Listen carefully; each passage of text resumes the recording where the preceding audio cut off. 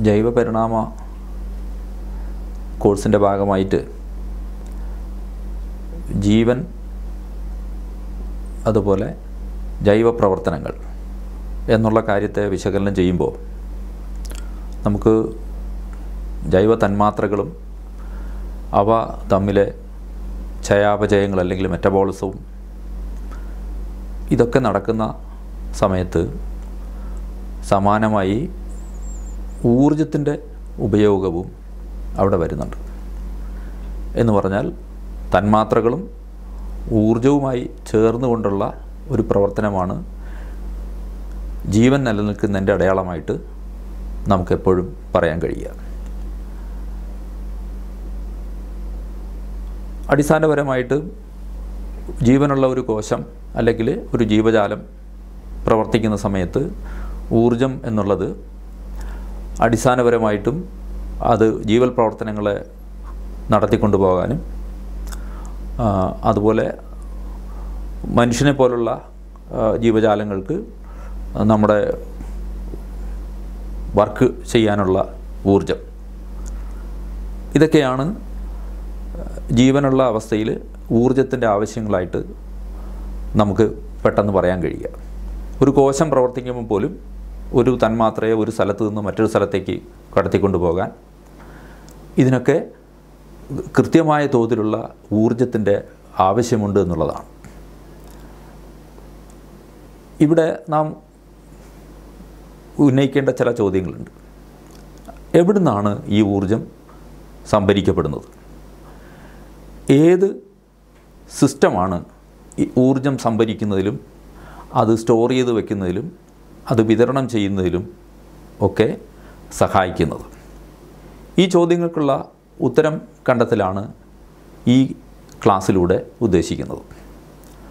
നമുക്കറിയാം ഊർജത്തെക്കുറിച്ച് പറയുമ്പോൾ കൃത്യമായിട്ടും അത് ജീവനുള്ള അവസ്ഥയിൽ അല്ലെങ്കിൽ ബയോളജിയിൽ നമ്മൾ ഊർജത്തെക്കുറിച്ച് പറയുമ്പോഴും രസതന്ത്രത്തിൽ ഊർജത്തെക്കുറിച്ച് പറയുമ്പോഴും ഒക്കെ അതിന്റെ അടിസ്ഥാന തത്വങ്ങളും ഒക്കെ എല്ലാം ഒന്ന് തന്നെയാണെന്നുള്ളതാണ് നാം മനസ്സിലാക്കേണ്ടത്. അതായത് നമ്മൾ സിസ്റ്റത്തെക്കുറിച്ച് പറയുമ്പോൾ അത് ഈ പ്രപഞ്ചത്തിന്റെ ഒരു ഭാഗമാണ് എന്ന് വിശേഷിക്കുമ്പോൾ അതിന് ആ സിസ്റ്റം ഒഴിച്ച് ബാക്കി സ്ഥലങ്ങളെ നമ്മൾ സറൗണ്ടിങ് എന്നുള്ള അർത്ഥത്തിലായിരിക്കും നമ്മൾ പറയുക. ആ രീതിയിൽ നോക്കുമ്പോൾ നമുക്ക് മൂന്ന് വ്യത്യ വ്യത്യ വ്യത്യസ്തങ്ങളായ സിസ്റ്റങ്ങളെക്കുറിച്ചാണ് പറയാനുള്ളത്. ഒന്നും ഐസൊലേറ്റഡ് സിസ്റ്റമാണ്. അവ കൃത്യമായിട്ടും എനർജിയും അതുപോലെ മാറ്ററും എന്ത് ചെയ്യില്ല. അതിന്റെ ചുറ്റുപാടുമായിട്ട് കൊടുക്കൽ വാങ്ങൽ നടത്താത്ത ഐസൊലേറ്റഡ് ആയ സിസ്റ്റം ആയിരിക്കും എന്നാൽ ക്ലോസ്ഡ് സിസ്റ്റം എന്ന് പറയുമ്പോൾ അവ എന്ത് ചെയ്യും? ഊർജം ഊർജം എക്സ്ചേഞ്ച് ചെയ്യും. പക്ഷേ വസ്തുക്കൾ കൈമാറില്ല തന്മാത്രകൾ കൈമാറില്ല മാറ്റർ കൈമാറില്ല എന്നുള്ളതാണ്. അതേസമയം ഓപ്പൺ സിസ്റ്റം എന്ന് പറയുമ്പോൾ അവ ഊർജവും അതുപോലെ തന്മാത്രകളും മാറ്ററും കൈമാറുന്ന സാഹചര്യമുള്ളത് എന്നുള്ളതും നമ്മൾ ഭൗതികശാസ്ത്രത്തിൽ മനസ്സിലാക്കുന്ന കാര്യങ്ങളാണ്. ബയോളജിയിലും സമാനമായ ഒരു അടിത്തറ തന്നെയാണ് ഊർജത്തിന്റെ കാര്യത്തിൽ നമുക്ക് പറയാനുള്ളത്. മനുഷ്യ ശരീരത്തെ നമ്മൾ വിലയിരുത്തുമ്പോൾ അതൊരു ഓപ്പൺ സിസ്റ്റമാണ് എന്ന് നമ്മൾ പറയും. കാരണം അവിടെ ഊർജം കൈമാറ്റപ്പെടുന്നുണ്ട്. അതായത് പിന്നെ ഹീറ്റ് പോലുള്ള ഊർജം ഊഷ്മാവ് കൈമാറ്റം ചെയ്യപ്പെടുന്ന ഒരു സാഹചര്യം നമുക്ക് അറിയാമെന്നുള്ള കാര്യമാണ്. അതുപോലെ ഭക്ഷണം നമ്മൾ കഴിക്കുന്നുണ്ട്. അതുപോലെ നമ്മുടെ ശരീരത്തിൽ നിന്ന് വേസ്റ്റ് പുറത്തേക്ക് പോകുന്നുണ്ട്. അതിന്റെ അർത്ഥം അവിടെ മാറ്റർ എന്നുള്ളത് കൈമാറ്റം ചെയ്യപ്പെടുന്നു എന്നുള്ളത് നമുക്കറിയാം. ആ അർത്ഥത്തിൽ നോക്കുമ്പോൾ മനുഷ്യ ശരീരം അടക്കമുള്ള ജീവജാലങ്ങളൊക്കെ തന്നെ ഒരു ഓപ്പൺ സിസ്റ്റമായിട്ട് പ്രവർത്തിക്കുന്നതായിട്ട് നമുക്ക് കാണാൻ കഴിയും. ഇവിടെ നമ്മുടെ ഊർജത്തിന്റെ അടിസ്ഥാന നിയമങ്ങളായിട്ടുള്ള സെക്കൻഡ് ലോ ഓഫ് തെർമോഡൈനാമിക്സ് നമ്മൾ സൂചിപ്പിക്കുന്ന ഒരു ഒരു കാര്യമുണ്ട്. ടോട്ടൽ എൻട്രോപ്പി എന്ന് പറയുന്ന കാര്യം. അത് എപ്പോഴും കൂടിക്കൊണ്ടിരിക്കും. അതായത് സ്പോണ്ടേനിയസ് ആയിട്ട് നടക്കുന്ന സ്വാഭാവികമായിട്ട് നടക്കുന്ന പ്രക്രിയകളിലൊക്കെ തന്നെ അതിന്റെ എൻട്രോപ്പി എന്ന് പറയുന്ന ആ സാഹചര്യം വർദ്ധിച്ചുകൊണ്ടിരിക്കും. എപ്പോഴും പ്രപഞ്ചത്തിൽ അത് ഇൻക്രീസിങ് ഡിസോർഡർ ആയിരിക്കും അത് മുന്നോട്ട് വയ്ക്കുക ആ രീതിയിൽ നോക്കുമ്പോൾ എന്താണ് ജീവജാലങ്ങൾക്കുള്ളിൽ തന്നെ ഈ ഡിസോർഡറുകളുടെ ഒരു സാഹചര്യമാണ് എപ്പോഴും ഉണ്ടാകുക. കാരണം ഓർഡറിലേക്ക് വരാനുള്ള സാഹചര്യം അത് സ്പോണ്ടേനിയസ് ആയിട്ട് ആക്ഷനുകൾ നടക്കുന്ന ഒരു സാഹചര്യമായതുകൊണ്ട് എൻട്രോപ്പി കൂടുന്നതായിട്ട് നമുക്ക് കാണാൻ കഴിയും. അതുപോലെ ഫ്രീ എനർജി എന്നുള്ള ഒരു ഒരു പദം നമ്മളിവിടെ കടമെടുക്കേണ്ടി വരും. അത് ഉദ്ദേശിക്കുന്ന മറ്റൊന്നുമല്ല. നമ്മൾ നമുക്ക് വർക്ക് ചെയ്യാൻ ഉതകുന്ന ഊർജം എന്നുള്ള നിലയ്ക്കാണ് ഫ്രീ എനർജി എന്നുള്ളത് നമ്മുടെ ഫിസിക്സിൽ ഉപയോഗിക്കുന്നത്. അതേ രൂപത്തിൽ തന്നെയാണ് നമ്മളിവിടെയും കൈകാര്യം ചെയ്യുന്നത്. മറ്റൊന്ന് എൻതാൽപ്പി എന്നുള്ള പദമാണ്. അത് നമ്മൾ ഒരു തന്മാത്രയുടെ ഉള്ളിൽ അതിന്റെ ബോണ്ടുകളിൽ സൂക്ഷി സൂക്ഷിച്ച് വെച്ചിരിക്കുന്ന ഊർജം എന്നുള്ള നിലയ്ക്ക് തന്നെയാണ് എൻതാൽപ്പി എന്നുള്ള പദത്തെയും നമ്മളിവിടെ കൈകാര്യം ചെയ്യുന്നത്. ഫ്രീ എനർജി അത് അതിന്റെ കണക്കാക്കലിനുള്ള അതിന്റെ റിലേഷൻസ് മാത്തമാറ്റിക്കൽ റിലേഷനൊക്കെ നമ്മൾ ഭൗതികശാസ്ത്രത്തിൽ നിന്ന് അതേ രൂപത്തിൽ തന്നെയാണ് നമ്മളിവിടെയും അതിന്റെ കണക്കാക്കലുകൾക്ക് വേണ്ടി നമ്മൾ ഉപയോഗിക്കുന്നുള്ളതും ഇവിടെ തിരിച്ചറിയേണ്ട കാര്യമാണ്. ഇവിടെ നമ്മൾ ഉന്നയിക്കുന്ന മറ്റൊരു ചോദ്യം ഇപ്പോൾ ബയോളജിക്കലായിട്ട് നടക്കുന്ന റിയാക്ഷനുകളൊക്കെ തന്നെ നമ്മൾ രണ്ട് തരത്തിലുള്ള റിയാക്ഷനുകളുണ്ട്. ഒന്ന് ഊർജം പുറത്തേക്ക് വമിക്കുന്ന തരത്തിലുള്ള റിയാക്ഷനുകൾ. അത് നമ്മൾ സാധാരണ ബയോളജി പറയുക എക്സർഗോണിക് റിയാക്ഷൻ എന്ന് പറയും. മറ്റൊന്ന് എൻഡർഗോണിക്കാണ് ഉള്ളിലേക്ക് ഊർജം എടുത്തുകൊണ്ടുള്ള റിയാക്ഷനുകളാണ്. ഇത് രണ്ടും സ്വാഭാവികമായിട്ട് നടക്കുന്നതാണോ എന്നുള്ള ഒരു ഒരു ചോദ്യം നമ്മുടെ ഉള്ളിലുണ്ട്. അതായത് എപ്പോഴും സ്വാഭാവികമായിട്ട് നടക്കുന്ന റിയാക്ഷൻ സ്പോണ്ടേനിയസ് റിയാക്ഷൻ എന്ന് പറയുമ്പോൾ അതൊക്കെ എക്സർഗോണിക് ആണെന്നുള്ളതാണ്. അതേസമയം എന്റർഗോണിക് റിയാക്ഷൻസ് ഒക്കെ അൺഫേവറബിൾ ആണ് എന്നുള്ളതും നമുക്കറിയാം. അങ്ങനെയുള്ളപ്പോൾ ജീവജാലങ്ങൾക്കുള്ളിൽ നടക്കുന്ന റിയാക്ഷനുകളൊക്കെ തന്നെ അത്തരത്തിൽ പിന്നെ എക്സർഗോണിക് ആയിരിക്കുമോ എന്നുള്ള ഒരു ഒരു ചോദ്യമുണ്ട്. എന്റർഗോണിക് റിയാക്ഷൻസ് എങ്ങനെയായിരിക്കും സാധാരണ ജീവ അവസ്ഥയിൽ നടക്കുക എന്നുള്ള ഒരു സംശയം നമ്മുടെ മുമ്പിൽ വരും. ഇതിനുള്ള ഉത്തരമെന്ന് പറയുന്നത് ഇപ്പോൾ ഒരു നമ്മുടെ ഗ്ലൂക്കോസിന്റെ പിന്നെ ചയാപചയവുമായി ബന്ധപ്പെട്ട് വരുന്ന ഒരു ഒരു റിയാക്ഷനുണ്ട് അതിന് ഗ്ലൂക്കോസ് ആദ്യം ഗ്ലൂക്കോസ് സിക്സ് ഫോസ്ഫേറ്റ് ആയിട്ട് മാറുന്നുണ്ട്. ആ ഗ്ലൂക്കോസും ഫോസ്ഫേറ്റും കൂടെ ചേർന്ന് ഗ്ലൂക്കോസ് സിക്സ് ഫോസ്ഫേറ്റ് ആയിട്ട് മാറുന്ന ഒരു റിയാക്ഷൻ നമ്മൾ പരിശോധിച്ച് കഴിഞ്ഞാൽ അത് സ്വാഭാവികമായിട്ടും അതൊരു സ്പോണ്ടേനിയസ് റിയാക്ഷൻ അല്ല എന്നുള്ളതാണ് നമ്മൾ മനസ്സിലാക്കുന്നത്. അതിന്റെ ഡെൽറ്റ ജി എന്നുള്ളത് നെഗറ്റീവ് അല്ല എന്നുള്ളതാണ് അതിന് കാരണം. അതേസമയം ഒരു എ ടി പി തന്മാത്രയും വാട്ടറും കൂടെ ചേർന്നിട്ട് എ ഡി പിയും ഫോസ്ഫേറ്റും ഉണ്ടാകുന്ന റിയാക്ഷൻ എന്ന് പറയുമ്പോൾ അത് സ്പോണ്ടേനിയസ് ആണ്. അപ്പോൾ ഒരു സ്പോണ്ടേനിയസ് റിയാക്ഷനുമായിട്ട് ചേർന്ന് മാത്രമേ ഒരു നോൺ സ്പോണ്ടേനിയസ് റിയാക്ഷൻ സാധ്യം ആകൂ എന്നുള്ളതാണ് കോശത്തിനുള്ളിൽ നടക്കുന്ന റിയാക്ഷനുകളിൽ നമുക്ക് പ്രധാനമായിട്ട് നാം മനസ്സിലാക്കേണ്ട ഒരു കാര്യം. അതായത് ഗ്ലൂക്കോസും എ ടി പിയും കൂടെ ചേർന്ന് ഗ്ലൂക്കോസ് സിക്സ് ഫോസ്ഫേറ്റ് ഉണ്ടാകുന്ന സാഹചര്യം. അതായത് ഈ പറഞ്ഞിരിക്കുന്ന രണ്ട് റിയാക്ഷനുകളെ കൂടെ നമ്മൾ ഒരുമിച്ച് എഴുതുന്ന ഒരു സാഹചര്യമാണ് സെല്ലിൽ നടക്കുന്ന ഒരു റിയാക്ഷനായിട്ട് നമുക്ക് പറയാൻ കഴിയും അന്നേരം ഊർജത്തിന്റെ അവസ്ഥ വെച്ച് നോക്കുകയാണെങ്കിൽ ഈ രണ്ട് റിയാക്ഷന്റെയും അതായത് ഗ്ലൂക്കോസും ഫോസ്ഫേറ്റും കൂടെ ചേർന്ന് ഗ്ലൂക്കോസ് സിക്സ് ഫോസ്ഫേറ്റ് ഉണ്ടാകുമ്പോഴേ ഉണ്ടാകുന്ന റിയാക്ഷന്റെ ഊർജവും അതുപോലെ എ ടി പി ഹൈഡ്രലൈസ് ചെയ്ത് എ ഡി പിയും ഫോസ്ഫേറ്റായി മാറുന്ന സമയത്ത് പുറത്തേക്ക് വിടുന്ന റിയാക്ഷന്റെ ആ ഊർജത്തിന്റെ അളവും അത് രണ്ടിനെയും കൂടെ നമ്മൾ ഒറ്റ റിയാക്ഷനാക്കി മാറ്റി പറയുന്ന സമയത്ത്. അത് എങ്ങനെയാണോ സെല്ലിനുള്ളിൽ ആ റിയാക്ഷൻ നടക്കുന്നത് അതേ അവസ്ഥയിൽ പറയുമ്പോൾ അത് തെർമോഡൈനാമിക്കലി സാധ്യമാകുന്ന ഒരു സാഹചര്യമാണ് അവിടെ ഉണ്ടാകുക എന്നുള്ളതാണ്. അതായത് അതിന്റെ ഓവറോൾ റിയാക്ഷൻ എന്ന് പറഞ്ഞാൽ ഈ രണ്ട് റിയാക്ഷനെയും കൂടെ കമ്പൈൻ ചെയ്ത് നടക്കുമ്പോൾ അതായത് ഒരു എക്സർഗോണിക് റിയാക്ഷനും ഒരു എന്റർഗോണിക് റിയാക്ഷനും ഒരുമിച്ച് നടക്കുന്ന സമയത്ത് അത് അതിന്റെ ഓവറോൾ റിയാക്ഷൻ എന്ന് പറയുന്നത് എക്സർഗോണിക് ആകുന്ന ഒരു സാഹചര്യം ഉള്ളതുകൊണ്ട് നമുക്കിവിടെ ഊർജത്തിന്റെ അളവ് ഈ റിയാക്ഷനിൽ പരിശോധിച്ചാൽ തന്നെ നമുക്ക് മനസ്സിലാവും. അത് minus sixteen point seven kilo joules per mole എന്നുള്ള അവസ്ഥയിലേക്ക് നമുക്ക് ഒരുമിച്ച് കിട്ടുമ്പോൾ അത് സാധ്യമാകുന്ന അതായത് പോസിബിൾ ആകുന്ന ഫേവറബിൾ ആകുന്ന ഒരു കണ്ടീഷനിൽ ഈ റിയാക്ഷൻ നടന്നു പോകുന്നു എന്നുള്ളതാണ് നാം തിരിച്ചറിയേണ്ടത്. അതായത് ഒരിക്കലും സാധ്യമാകാത്ത ഒരു എന്റർഗോണിക് റിയാക്ഷൻ ഒരു എക്സർഗോണിക് റിയാക്ഷനുമായിട്ട് ചേർന്നുകൊണ്ട് നടക്കുന്ന സമയത്ത് അതിനെ നമ്മൾ പറയുക കപ്പിൾ റിയാക്ഷൻ എന്നുള്ള അവസ്ഥയിലാണ് പറയുക. അതായത് ഗ്ലൂക്കോസും എ ടി പിയും ചേർന്നുകൊണ്ട് എ ഡി പിയും ഗ്ലൂക്കോസ് സിക്സ് ഫോസ്ഫേറ്റും ഉണ്ടാകുന്ന റിയാക്ഷൻ എന്ന് പറഞ്ഞു കഴിഞ്ഞാൽ ഒരു എക്സർഗോണിക് റിയാക്ഷനും ഒരു എൻഡർഗോണിക് റിയാക്ഷനും കൂടെ കപ്പിൾ ചെയ്ത് നടക്കുന്ന ഒരു അവസ്ഥയാണ് അവിടെ ഉണ്ടാകുക. കാരണം ഇത് ഊർജത്തിന്റെ അവസ്ഥയിൽ നിന്നുകൊണ്ട് ഈ റിയാക്ഷനെ വിശദീകരിക്കുമ്പോൾ അത് സാധ്യമാകുന്നത് ഇങ്ങനെയാണ് എന്നുള്ളതാണ്. നമുക്കറിയാം എ ടി പി എന്നുള്ള മോളിക്യൂളിനെ അഡിനോസിൻ ട്രൈഫോസ്ഫേറ്റ് എന്ന് പറയുന്ന മോളിക്യൂളിനെ നമ്മൾ വിശേഷിപ്പിക്കുന്നത് എനർജി കറൻസി ഓഫ് സെൽ എന്നാണ് നമ്മൾ പറയുക. അത് ഈ രീതിയിലാണ്. എ ടി പി ഊർജമായിട്ടാണ് എ ടി പിയിലെ ബോണ്ട് എനർജി ആയിട്ടാണ് ഊർജത്തെ സംഭരിച്ച് വെക്കുന്നത്. അതുകൊണ്ടാണ് നമ്മൾ എ ടി പിയെ എനർജി കറൻസി ഓഫ് സെല്ലെന്ന് നമ്മൾ പറയുന്നത്. അതേസമയം ഇതല്ലാതെ നമ്മുടെ കോശങ്ങൾക്കുള്ളിലും ജീവജാലങ്ങളിലുമൊക്കെ ഹൈ എനർജി തന്മാത്രകളായിട്ട് പ്രവർത്തിക്കുന്ന കുറച്ചധികം തന്മാത്രകൾ നമ്മൾ ഇതിനകം തന്നെ കണ്ടെത്തി വെച്ചിട്ടുണ്ട്. എന്തുകൊണ്ടാണ് ഇവ എന്താണ് ഹൈ എനർജി തന്മാത്രകൾ അല്ലെങ്കിൽ കോമ്പൗണ്ട്സ് എന്നറിയപ്പെടുന്നത് ചോദിച്ചു കഴിഞ്ഞാൽ അതിൽ രണ്ട് മൂന്ന് കാര്യങ്ങളുണ്ട്. ഒന്ന് അതിന്റെ ബോണ്ടുകളിൽ സൂക്ഷിക്കുന്ന ഊർജം. ഒരു അഞ്ച് കിലോ കാലറിക്ക് മുകളിലേക്ക് വരുന്ന സമയത്താണ് നമ്മൾ അതിനെയൊക്കെ ഹൈ എനർജി കോമ്പൗണ്ട്സ് എന്ന് സാധാരണഗതിയിൽ വിശേഷിപ്പിക്കാറുള്ളത്. എ ടി പിയിൽ നമ്മൾ പരിശോധിക്കുകയാണെങ്കിൽ എ ടി പിയുടെ ടെർമിനൽ ഫോസ്ഫേറ്റ് ബോണ്ടുകളിലൊക്കെ തന്നെ അത് അവിടെ വരുന്ന അൺഹൈഡ്രേറ്റ് ബോണ്ടുകളിലൊക്കെ തന്നെ ആ, രീതിയിൽ ഏഴ് പോയിന്റ് മൂന്ന് കിലോ കാലറി ഊർജമാണ് സംഭരിച്ചു വയ്ക്കുന്നത് ഈ കാണുന്ന എ ടി പി മോളിക്കൂളിൽ ആൽഫ ഫോസ്ഫേറ്റ് ഉണ്ട് ബീറ്റ ഫോസ്ഫേറ്റ് ഉണ്ട് ഗാമ ഫോസ്ഫേറ്റ് ഉണ്ട്. ഇതിൽ ആൽഫ ഫോസ്ഫേറ്റും റൈബോസുമായിട്ട് എസ്റ്റർ ബോണ്ടാണ്.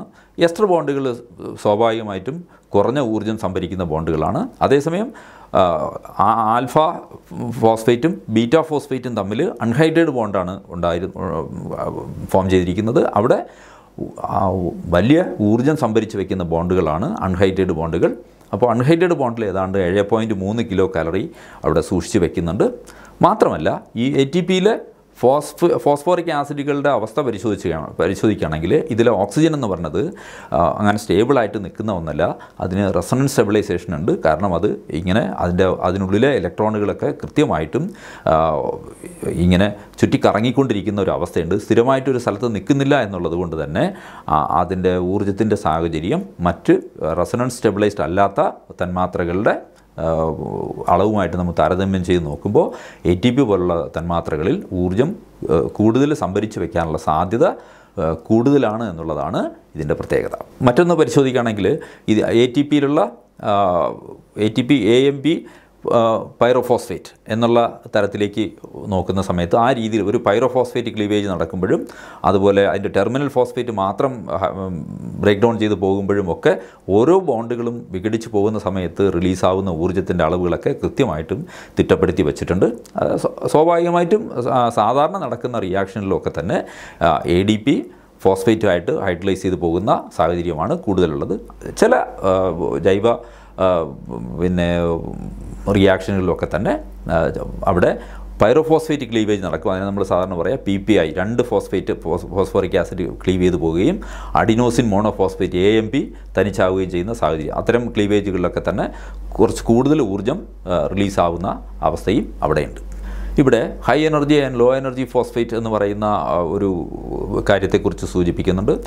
നമ്മുടെ കോശങ്ങളിൽ കാണുന്ന പലതരത്തിലുള്ള തന്മാത്രകൾ. Phosphoenol pyruvate carbamoyl phosphate cyclic A M P one one three bis phosphoglycerate അതുപോലെ ഫോസ്ഫോ ക്രിയാറ്റിൻ ഫോസ്ഫോ ക്രിയാറ്റിൻ എന്നൊക്കെ പറയുമ്പോൾ നമ്മുടെ മസിലുകളിൽ ഊർജം സംഭരിച്ചു വയ്ക്കുന്ന എ ടി പിയിൽ നിന്ന് ഫോസ്ഫേറ്റിനെ സ്വീകരിച്ചുകൊണ്ട് ഫോസ്ഫോക്രിയാറ്റിനായിട്ട് ആണ് മസിൽ കോൺട്രാക്ഷന് വേണ്ട ഊർജം കൊടുക്കുന്ന ഒരു തന്മാത്രയാണ് ഫോസ്ഫോ ക്രിയാറ്റിൻ അതുപോലെ acetyl phosphate S adenosyl methionine pyrophosphate acetyl coenzyme A ഇതെല്ലാം നമ്മൾ ഈ പറയുന്ന ഹൈ എനർജി കോമ്പൗണ്ടുകളുടെ കൂട്ടത്തിൽപ്പെടുത്തുന്ന പിന്നെ തന്മാത്രകളാണ്. അതേസമയം താരതമ്യേന കുറഞ്ഞ ഊർജം അതിന്റെ ബോണ്ടുകളിൽ സൂക്ഷിക്കുന്ന പല തന്മാത്രകളും നമുക്കുണ്ട്. അത് glucose one phosphate fructo fructose one phosphate glucose six phosphate പോലുള്ള തന്മാത്രകളും അതിന്റെ ബോണ്ടുകളിൽ. അത് വൺ ഫോസ്ഫേറ്റ് എന്നൊക്കെ പറയുമ്പോൾ അത് എസ്റ്റർ ബോണ്ടുകളാണ്. താരതമ്യേന കുറഞ്ഞ ഊർജമാണ് അവിടെ ആ എസ്റ്റർ ബോണ്ടിങ്ങിൽ സൂക്ഷിക്കുന്നത്. അതൊക്കെ തന്നെ ഈ എനർജി ആവശ്യം വരുന്ന റിയാക്ഷനുകളിലേക്ക് കൊടുക്കാൻ ഒരു കപ്പിൾഡ് റിയാക്ഷനിൽ ഇൻവോൾവ് ചെയ്തുകൊണ്ട് ഊർജം പുറത്തേക്ക് കൊടുക്കാൻ പറ്റുന്ന തരത്തിലുള്ള ഒരു സാഹചര്യം അവിടെ ഇല്ല എന്നുള്ളതാണ് ഈ ലോ എനർജി കോമ്പൗ ഫോസ്ഫേറ്റ് കോമ്പൗണ്ടുകളുടെ ഒരു ന്യൂനത എന്ന് പറയുന്നത്.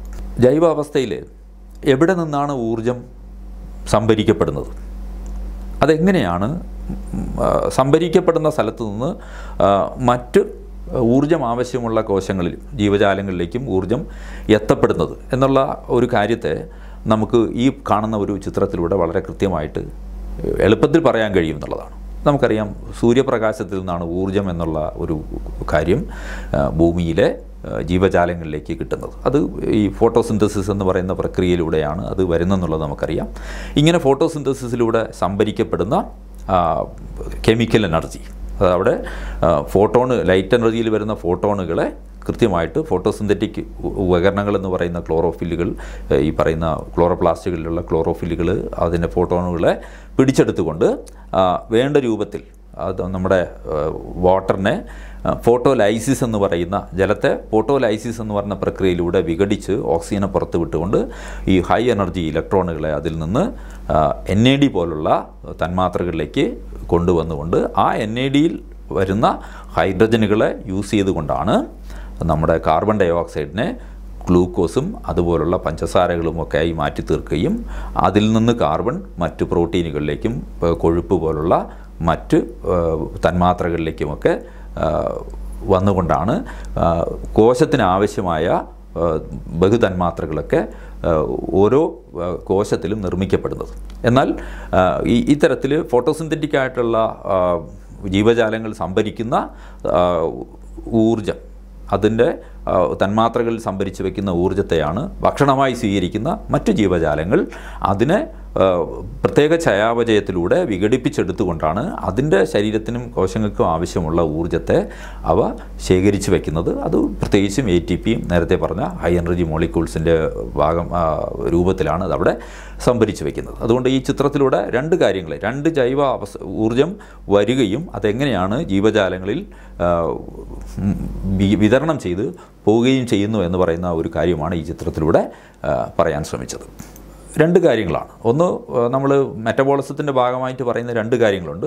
ഒന്ന് കാറ്റബോളിസമാണ് മറ്റൊന്ന് ആനബോളിസമാണ്. കാറ്റബോളിസം എന്ന് പറയുമ്പോൾ ബഹുതന്മാത്രകളെ വിഘടിച്ച് ലഘു തന്മാത്രകളാക്കി മാറ്റുന്ന ഒരു പ്രവർത്തനത്തെയാണ് നമ്മൾ കാറ്റബോളിസം എന്ന് പറയുക ഈ പ്രക്രിയയിൽ ഊർജം എന്ത് ചെയ്യപ്പെടുന്നുണ്ട്? എ ടി പി പോലുള്ള തന്മാത്രകളിൽ ശേഖരിക്കപ്പെടുന്നുണ്ട്. അതേസമയം ആനബോളിസം എന്ന് പറയുന്ന സിന്തറ്റിക് പ്രക്രിയയിൽ ഇങ്ങനെ സംഭരിച്ചു വയ്ക്കുന്ന ഊർജത്തെ മറ്റ് ലഘു തന്മാത്രകളെ ബഹു തന്മാത്രകളാക്കി മാറ്റാനുള്ള ഒരു പ്രവർത്തനമാണ് ഇതുവഴി നടക്കുക. ഇത് രണ്ടും കാറ്റബോളിസവും ആനബോളിസവും എല്ലാത്തരം കോശങ്ങളിലും നടക്കുന്ന പ്രവർത്തനങ്ങളാണെന്നുള്ളത് തിരിച്ചറിയണം. ഇവിടെ എങ്ങനെയാണ് കാറ്റബോളിസത്തിൽ നിന്ന് ഊർജം സംഭരിച്ചുകൊണ്ട് അനബോളിക് റിയാക്ഷനിലേക്ക് കൊണ്ടുവരുന്നു എന്നുള്ളതിനെയാണ് ഈ ചിത്രത്തിലൂടെ പറയാൻ ശ്രമിക്കുന്നത്. എങ്ങനെയാണ് ജീവജാലങ്ങളിൽ ഊർജം ഒരു ഫോമിൽ നിന്ന് മറ്റൊരു ഫോമിലേക്ക് കടത്തപ്പെടുന്നു എന്നുള്ളതാണ്. അതായത് ചയാപചയം എന്നുള്ള മെറ്റബോളിസം എന്നുള്ള പ്രവർത്തനത്തിലൂടെ എങ്ങനെയാണ് ഊർജം ഒരവസ്ഥയിൽ നിന്ന് മറ്റൊരവസ്ഥയിലേക്ക് മാറുന്നു എന്നുള്ളതിനെക്കുറിച്ചാണ് ഈ സ്ലൈഡ് സൂചിപ്പിക്കുന്നത്. ഇവിടെ പറയുന്നൊരു കാര്യമാണ് നേരത്തെ പറഞ്ഞ ഫോട്ടോസിന്തസിസ് എന്നുള്ള ആ നമ്മുടെ ഒരു ജീവന്റെ ഒരു പിരമിഡ് ഇവിടെ ഉണ്ട്. ഫോട്ടോസിന്തസിസിന് സാധ്യമാകുന്ന കോശങ്ങൾ ഊർജത്തെ സംഭരിക്കുകയും അത് പ്രത്യേക തന്മാത്രകളായിട്ട് ശേഖരിക്കുകയും ആ തന്മാത്രകൾ ഭക്ഷണമാക്കി കഴിക്കുന്ന മറ്റ് ജീവജാലങ്ങൾ അത് സ്വന്തം ശരീരത്തിലെ തന്മാത്രകളായിട്ട് അതായത് കെമിക്കൽ എനർജി ആയിട്ട് തന്നെ ആ ഊർജത്തെ സംഭരിച്ച് വയ്ക്കുകയും അതിനാവശ്യം വരുന്ന സമയത്ത് ഉപയോഗിക്കുകയും ചെയ്യുന്നു. അത്തരത്തിലൊരു ഒരു ഊർജത്തിന്റെ പിരമിഡായിട്ടാണ് നമ്മൾ ഇവിടെ ഈ സ്ലൈഡിൽ അതിനെ സൂചിപ്പിക്കുന്നത്. ഒറ്റ സൈഡിൽ ഫോട്ടോസിന്തസിൽ എന്ന് പറയുന്ന ആ പ്രക്രിയ എന്താണെന്നുള്ളതാണ് ഇവിടെ സൂചിപ്പിക്കുന്നത്. അത് സൺലൈറ്റ് അതിലുള്ള ഊർജത്തെ കെമിക്കൽ എനർജിയാക്കി മാറ്റുന്ന ഒരു പ്രവൃത്തിയാണ് ഫോട്ടോസിന്തസിസ് നമുക്ക് പറയാൻ കഴിയും. രണ്ടാമത്തെ ഒരു കാര്യം വാട്ടറിനെ സ്പ്ലിറ്റ് ചെയ്ത് ഓക്സിജനെ പുറത്തേക്ക് വിടുന്ന ഒരു പ്രക്രിയയാണ് ഫോട്ടോസിന്തസിസ്. അതേസമയം അതിലുള്ള ഹൈഡ്രജന് എടുത്തുകൊണ്ട് അതിനെ N A D N A D P പോലുള്ള തന്മാത്രകളിലേക്ക് കൊണ്ടുവന്നുകൊണ്ട് അവിടുന്ന് അതിനെ പ്രത്യേക ഇലക്ട്രോൺ കാരിയേഴ്സിന്റെ ഭാഗമായിട്ട് എന്ത് ചെയ്യുന്നുണ്ട്?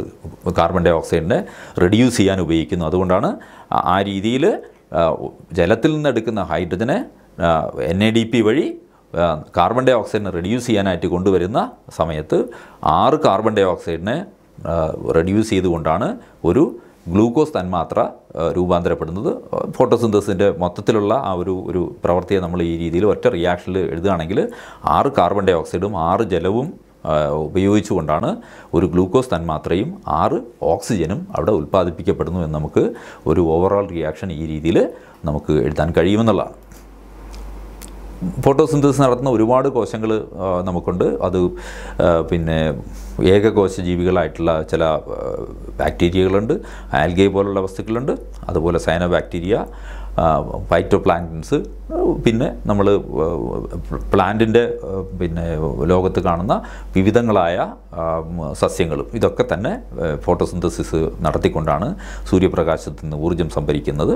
അതിന് കെമിക്കൽ എനർജി എന്നുള്ള നിലയ്ക്ക് അതിന്റെ സെല്ലുകളിലെ തന്മാത്രകളായിട്ട് രൂപാന്തരപ്പെടുത്തുകയും അത് സ്റ്റോർ ചെയ്ത് വെക്കുകയും ചെയ്യുന്നുണ്ട്. അങ്ങനെ സ്റ്റോർ ചെയ്യപ്പെടുന്ന പ്രത്യേകിച്ച് അന്നജത്തിന്റെ രൂപത്തിലൊക്കെ സ്റ്റോർ ചെയ്യപ്പെടുന്ന ബഹുതന്മാത്രകളെയാണ് മറ്റു ജീവജാലങ്ങൾ ഭക്ഷിക്കുകയും അതിന്റെ ശരീര വളർച്ചയ്ക്കും അതുപോലെ ഊർജ ഉൽപ്പാദനത്തിനും ഉപയോഗിക്കുന്നുള്ളതാണ് ഈ എനർജിയുടെ ഒഴുക്കിന്റെ ഒരു ഒരു സ്വഭാവം. ഈ ഫോട്ടോസിന്തസിസിനെ നമ്മൾ ഒരു രീതിയിൽ ഊർജത്തിന്റെ ഒരു ഫ്ലോ എന്നുള്ള നിലയ്ക്ക് നമ്മൾ വിശകലനം ചെയ്യുകയാണെങ്കിൽ ഒരു ഗ്രാഫിൽ നമ്മൾ ഫോട്ടോസിന്തസുമായി ബന്ധപ്പെട്ട് വരുന്ന ഒരുപാട് പിഗ്മെന്റ് സിസ്റ്റങ്ങളുണ്ട്. അതായത് ഫോട്ടോ സിസ്റ്റം വണ്ണും ട്യൂബും ഉണ്ട്. ഇതിനിടയ്ക്ക് വ്യത്യസ്തങ്ങളായ ഇലക്ട്രോൺ കാരിയേഴ്സ് ഉണ്ട്. അങ്ങനെ ഒരു ഫോട്ടോസിന്തറ്റിക് ഇലക്ട്രോൺ ട്രാൻസ്പോർട്ട് എന്നുള്ള ഒരു പ്രക്രിയ നമ്മുടെ മൈറ്റോകോണ്ടിൽ നടക്കുന്ന പോലത്തെ ഒരു ഇലക്ട്രോ ട്രാൻസ്പോർട്ട് പ്രക്രിയ ക്ലോറോപ്ലാസ് ക്ലോറോപ്ലാസ്റ്റ് എന്ന് പറയുന്ന സബ്സെല്ലാർ ഓർഗനിൽ സൂര്യപ്രകാശമുള്ള സമയത്ത് നടക്കുന്ന സമയത്ത് എന്ത് തരം ഊർജത്തിന്റെ മാറ്റമാണ് ഉണ്ടാകുന്നത് എന്നുള്ളത് ഈ ഒരു ഇസഡ് സ്കീം എന്ന് പറയുന്ന ഒരു ഒരു ചിത്രത്തിലൂടെയാണ് നമ്മൾ വിശദീകരിക്കാൻ ശ്രമിക്കുന്നത്. മറ്റൊന്നുമല്ല ഇതിന്റെ വൈ ആക്സിസിൽ നമ്മൾ ഊർജത്തിന്റെ ഒരു സ്കെയിൽ വെച്ചിട്ടുണ്ട്. എക്സ് ആക്സിൽ വിവിധങ്ങളായ ഇലക്ട്രോൺ കാരിയേഴ്സും അതുപോലെ ഫോട്ടോ സിസ്റ്റവുമാണുള്ളത് അങ്ങനെ നമ്മൾ നോക്കുമ്പോൾ ഊർജത്തിന്റെ തലത്തിൽ പരിശോധിക്കുകയാണെങ്കിൽ നമുക്ക് ഫോട്ടോസിന്തസിസ് ആരംഭിക്കുന്നത് ജലത്തെ വിഘടിച്ചുകൊണ്ടാണ്. ഫോട്ടോലൈസിസ് എന്ന് പറയുന്ന പ്രക്രിയയാണ്. ഊർജത്തിന്റെ അവസ്ഥയിൽ നോക്കുകയാണെങ്കിൽ ജലം നിൽക്കുന്നത് വളരെ താഴ്ന്ന ഊർജത്തിന്റെ അവസ്ഥയിലാണ്. അപ്പോൾ താഴ്ന്ന ഊർജത്തിന്റെ അവസ്ഥയിൽ നിന്നുകൊണ്ട് ആ ജലത്തിനകത്ത് ഇരിക്കുന്ന ഹൈഡ്രജൻ അത് ഹൈ ഊർജ പിന്നെ എനർജിയുള്ള ഒരു ഇലക്ട്രോണും പ്രോട്ടോണും ചേർന്നിട്ടുള്ള ഒരു സാധനമാണ്. ഇതിനെ നമ്മൾ എന്ത് ചെയ്യുന്നുണ്ട്? ലിഫ്റ്റ് ചെയ്ത് എവിടേക്ക് കൊണ്ടുപോവാണ്? എൻ എ ഡി പി എന്ന് പറയുന്ന കോയൻസൈമിലേക്ക് കൊണ്ടുപോകണം. അത് ഉയർന്ന ഊർജ തലത്തിൽ നിൽക്കുന്ന ഒരു തന്മാത്രയാണ് എൻ എ ഡി പി എന്ന് പറഞ്ഞാൽ താഴ്ന്ന ഊർജ തലത്തിൽ നിൽക്കുന്ന ജലത്തിൽ നിന്ന് ഇലക്ട്രോൺസിനെ ഉയർന്ന ഇല എന്താ പറയുക എനർജി തലത്തിൽ നിൽക്കുന്ന ഒരു തന്മാത്രയിലേക്ക് കൊണ്ടുപോകുന്ന ഒരു പ്രക്രിയയാണ് ഫോട്ടോസിന്തറ്റിക് ഇലക്ട്രോൺ ട്രാൻസ്പോർട്ട് എന്ന് പറയുന്നത്. ഇവിടെ ഇലക്ട്രോണുകളുടെ ട്രാൻസ്പോർട്ടാണ്. അതായത് അതിന് പാരലായിട്ട് ഹൈഡ്രജനും അതായത് പ്രോട്ടോണും സഞ്ചരിക്കുന്നു എന്നുള്ളതാണ്. ഇലക്ട്രോണും പ്രോട്ടോണും സഞ്ചരിച്ചുകൊണ്ടാണ് എൻ എ ഡി പി എന്ന് പറയുന്ന അതിന്റെ അവസാനത്തെ കരിയർ എന്ന് പറയുന്ന എൻ എ ഡി പി തന്മാത്രയിലേക്ക് എത്തുന്നത്. ഇവിടെ ഒരു കാര്യം നമ്മൾ ഓർക്കേണ്ടത് താഴ്ന്ന ഊർജത്തിന്റെ ലെവലിൽ നിൽക്കുന്ന ഒരു തന്മാത്രയിൽ നിന്നാണ് ഇലക്ട്രോണെ പിക്ക് ചെയ്ത് കൊണ്ടുപോകുന്നത്. അതുകൊണ്ടാണ് നമ്മുടെ സൂര്യപ്രകാശത്തു നിന്നുള്ള ഫോട്ടോണുകളെ ഫോട്ടോ സിസ്റ്റം എന്ന് പറയുന്ന ഇതിന് ക്യാപ്ചർ ചെയ്യുന്ന സംവിധാനങ്ങൾ ഊർജത്തെ ക്യാപ്ചർ ചെയ്യുന്ന സംവിധാനങ്ങളാണ് ഫോട്ടോ സിസ്റ്റം. അതിൽ രണ്ട് തലങ്ങളിലാണ് രണ്ട് ഫോട്ടോ സിസ്റ്റമാണ് നമ്മുടെ ക്ലോറോപ്ലാസ്റ്റിലുള്ള ഈ പറയുന്ന ഫോട്ടോസിന്തറ്റിക് ഇലക്ട്രോൺ ട്രാൻസ്പോർട്ടുമായി ബന്ധപ്പെട്ട് പ്രവർത്തിക്കുന്ന അതിന്റെ ഘടകങ്ങൾ ഇത് രണ്ടും ആദ്യം ഒരു തലത്തിൽ ഒരു ഫോട്ടോ സിസ്റ്റം ഈ ഊർജത്തെ പിടിച്ചുകൊണ്ട് ഈ ഹൈഡ്രജനെയും ഇലക്ട്രോണെയും ഉയർന്ന തലത്തിലേക്ക് ഉയർത്തിക്കൊണ്ടുവരികയാണ്. അവിടെ ഇരിക്കുന്ന ഒരു കാരിയറിനത് കൊടുക്കുകയാണ് ആ കാരിയറിൽ നിന്നുകൊണ്ട് ഒരു അല്പം കൂടെ താഴ്ന്ന തലത്തിലുള്ള മറ്റൊരു ഫോട്ടോ സിസ്റ്റത്തിലേക്ക് ഈ ഇലക്ട്രോണുകൾ സഞ്ചരിക്കുകയാണ്. എന്ന് പറഞ്ഞാൽ ഒരു ഇസഡ് സ്കീമിൽ അതിന്റെ രണ്ട് ഫേസുകൾ നമ്മൾ പരിശോധിച്ച് കഴിഞ്ഞാൽ ആദ്യത്തെ ഒരു ഫേസിൽ വാട്ടറിൽ നിന്ന് ഇലക്ട്രോണുകളെ ഫോട്ടോ സിസ്റ്റത്തിലേക്ക് കൊണ്ടുവരുന്നു. എന്നിട്ട് അവിടെ നിന്ന് അത് മറ്റൊരു എക്സൈറ്റഡ് സ്റ്റേറ്റിലുള്ള ഒരു എന്താ പറയുക പിഗ്മെന്റിലേക്ക് കൊണ്ടുവരുന്നു. അവിടെ നിന്നാണ് ഫോട്ടോ സിസ്റ്റം വണ്ണിലേക്ക് കൊടുക്കുന്നത് ഫോട്ടോ സിസ്റ്റം ടൂവിൽ നിന്ന് ഫോട്ടോസിസ്റ്റം ഫോട്ടോ സിസ്റ്റം വണ്ണിലേക്ക് കൊടുക്കുന്ന ഒരു സാഹചര്യമാണ് അവിടെയുള്ളത്. എന്ന് പറഞ്ഞാൽ നമ്മൾ ഇങ്ങനെ പരിശോധിക്കുക. ആദ്യം ഒരു ഗ്രൗണ്ട് ലെവലിൽ നിന്ന ഒരു വസ്തുവിനെ നമ്മൾ ലിഫ്റ്റ് ചെയ്ത് ഒരു മൂന്നാം നിലയിലോ അഞ്ചാം നിലയിലോ കൊണ്ടുവന്നു. എന്നിട്ട് അഞ്ചാം നിലയിൽ കൊണ്ടുവന്നൊരു സാധനത്തെ വീണ്ടും ഒരു മൂന്നാം നിലയ്ക്ക് കൊണ്ടുവരുന്ന ഒരു സാഹചര്യമാണ് ഈ ഫോട്ടോ സിസ്റ്റം അതായത് പിഗ്മെന്റ് സിക്സ് എയ്റ്റിയിൽ നിന്ന് ഫോട്ടോ സിസ്റ്റം വണ്ണിലേക്ക് വരുന്ന സമയത്ത് സംഭവിക്കുക എന്ന് പറഞ്ഞാൽ അവിടെ ഒരു ഊർജത്തിന്റെ ഒഴുക്ക് അതായത് ഒരു എക്സർഗോണിക് പ്രോസസ്സ് അവിടെ നടക്കുന്നുണ്ട്. അവിടെ ഒരു എ ടി പി ഫോമേഷനുള്ള സാധ്യത അവിടെയുണ്ട്. അതായത് ഫോട്ടോസിന്തറ്റിക് ഇലക്ട്രോൺ ട്രാൻസ്പോർട്ടിലും എ ടി പി പോലുള്ള തന്മാത്ര ഉണ്ടാകാനുള്ള ഒരു സാഹചര്യം ഇവിടെ വരുന്നുണ്ട്. മൊത്തത്തിൽ നടക്കുന്ന പ്രവൃത്തി എന്ന് പറയുന്നത് ഊർജം സംഭരിച്ചുകൊണ്ട് താഴ്ന്ന ഊർജത്തിന്റെ തലത്തിലുള്ള ഒരു ജലത്തിന്റെ തന്മാത്രയിൽ നിന്ന് ഇലക്ട്രോണെയും ഹൈഡ്രജനെയും എടുത്തുകൊണ്ട് ഉയർന്ന ഊർജ ലെവലിലുള്ള എൻ എ ഡി പിയിലേക്ക് കൊണ്ടുപോകുന്ന പ്രക്രിയ ആണെങ്കിൽ പോലും അതിന്റെ ഒരു സ്റ്റേജിൽ എ ടി പി ഫോർമേഷനുള്ളൊരു സാധ്യത അവിടെയുണ്ട്. എന്ന് പറഞ്ഞാൽ നമ്മുടെ ഈ ഇസഡ് സ്കീം പരിശോധിച്ചാൽ നമുക്ക് മനസ്സിലാകുന്നത് ആത്യന്തികമായിട്ട് എൻ എ ഡി പി എന്ന് പറയുന്ന ഒരു കരിയറിനെ റെഡ്യൂസ് ചെയ്യുന്ന അവസ്ഥ ഉണ്ടെങ്കിലും ഈ പ്രക്രിയയിൽ ഒരു എ ടി പി ഫോർമേഷനുള്ള സാധ്യത ഉണ്ട് എന്നുള്ളതാണ്. ഈ രണ്ട് ഫോട്ടോ സിസ്റ്റവും പ്രവർത്തിക്കുന്നതിന്റെ ഭാഗമായിട്ട് ഇങ്ങനെ ഞാൻ നേരത്തെ പറഞ്ഞു നേരത്തെ ആ ഒരു അഞ്ചാം നിലയിലേക്ക് പോകുന്ന ആ, ഒരു വസ്തുവിനെ ഒരു മൂന്നാം നിലയ്ക്ക് കൊണ്ടുവരുന്നുണ്ട് വീണ്ടും അവിടെ ഫോട്ടോ സിസ്റ്റം വൺ പ്രവർത്തിക്കും പിന്നെയും സൂര്യപ്രകാശത്തു നിന്ന് ഊർജം എടുത്തുകൊണ്ട് ഈ മൂന്നാം നിലയിൽ നിന്ന് വീണ്ടും ഒരു എട്ടാം നിലയിലേക്ക് കൊണ്ടുവരികയാണ്. എന്ന് പറഞ്ഞാൽ അതിൽ നിന്നും ആദ്യം കൊണ്ടുവന്ന അഞ്ചാം നിലയേക്കാളും ഉയർന്നൊരു തലത്തിലേക്ക് ഇലക്ട്രോൺസിനെ കൊണ്ടുവരുന്നുണ്ട്. അവിടെ നിന്നാണ് കുറച്ച് താഴെയുള്ള എൻ എ ഡി പി എന്ന് പറയുന്ന അൾട്ടിമേറ്റ് കാരിയറിലേക്ക് കൊണ്ടുവരുന്നത്. ഇങ്ങനെ വരുന്ന സമയത്ത് ഇതിനിടയ്ക്കൊക്കെ വ്യത്യസ്തങ്ങളായ ഊർജ അവസ്ഥയിലുള്ള ഇലക്ട്രോൺ കാരിയേഴ്സ് ഉണ്ട്. അതിനെല്ലാം ഈ ഇലക്ട്രോൺ ഷെയർ ചെയ്യപ്പെട്ട് ആണ്. അവസാനമായിട്ട് അൾട്ടിമേറ്റ് കരിയർ എന്ന് പറയുന്ന എൻ എ ഡി പിയിലേക്ക് ഇലക്ട്രോണും പ്രോട്ടോണും എത്തപ്പെടുക. അങ്ങനെയാണ് എൻ എ ഡി പി എന്ന് പറയുന്ന ഇലക് അൾട്ടിമേറ്റ് ഇലക്ട്രോൺ കാരിയർ റെഡ്യൂസ് ചെയ്യപ്പെടുന്നത്. അതായത് ഫോട്ടോസിന്തറ്റിക് ഇലക്ട്രോൺ ട്രാൻസ്പോർട്ട് എന്ന് പറയുന്ന പ്രക്രിയ ജലത്തിൽ നിന്ന് ഹൈഡ്രജനെ എടുത്തുകൊണ്ട് എൻ എ ഡി പി എന്ന് പറയുന്ന അൾട്ടിമേറ്റ് കരിയറിലേക്ക് കൊണ്ടുവരുന്ന ഒരു പ്രക്രിയയാണ്. ആ പ്രക്രിയ നടക്കുന്ന സമയത്ത് എന്തൊക്കെ ഊർജത്തിന്റെ തലങ്ങളിൽ വരുന്ന മാറ്റങ്ങളുണ്ട് എന്നുള്ളതാണ് ഈ ഇസഡ് സ്കീമിലൂടെ വിശദീകരിക്കാൻ ശ്രമിക്കുന്നത്.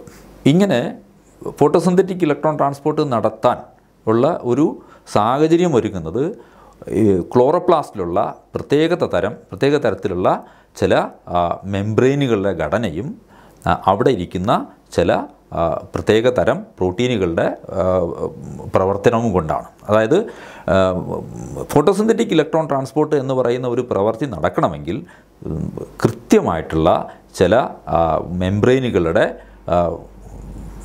ശരിയായ പ്രവർത്തനവും അവിടെ ഉണ്ടാകണമെന്നുള്ളതാണ്.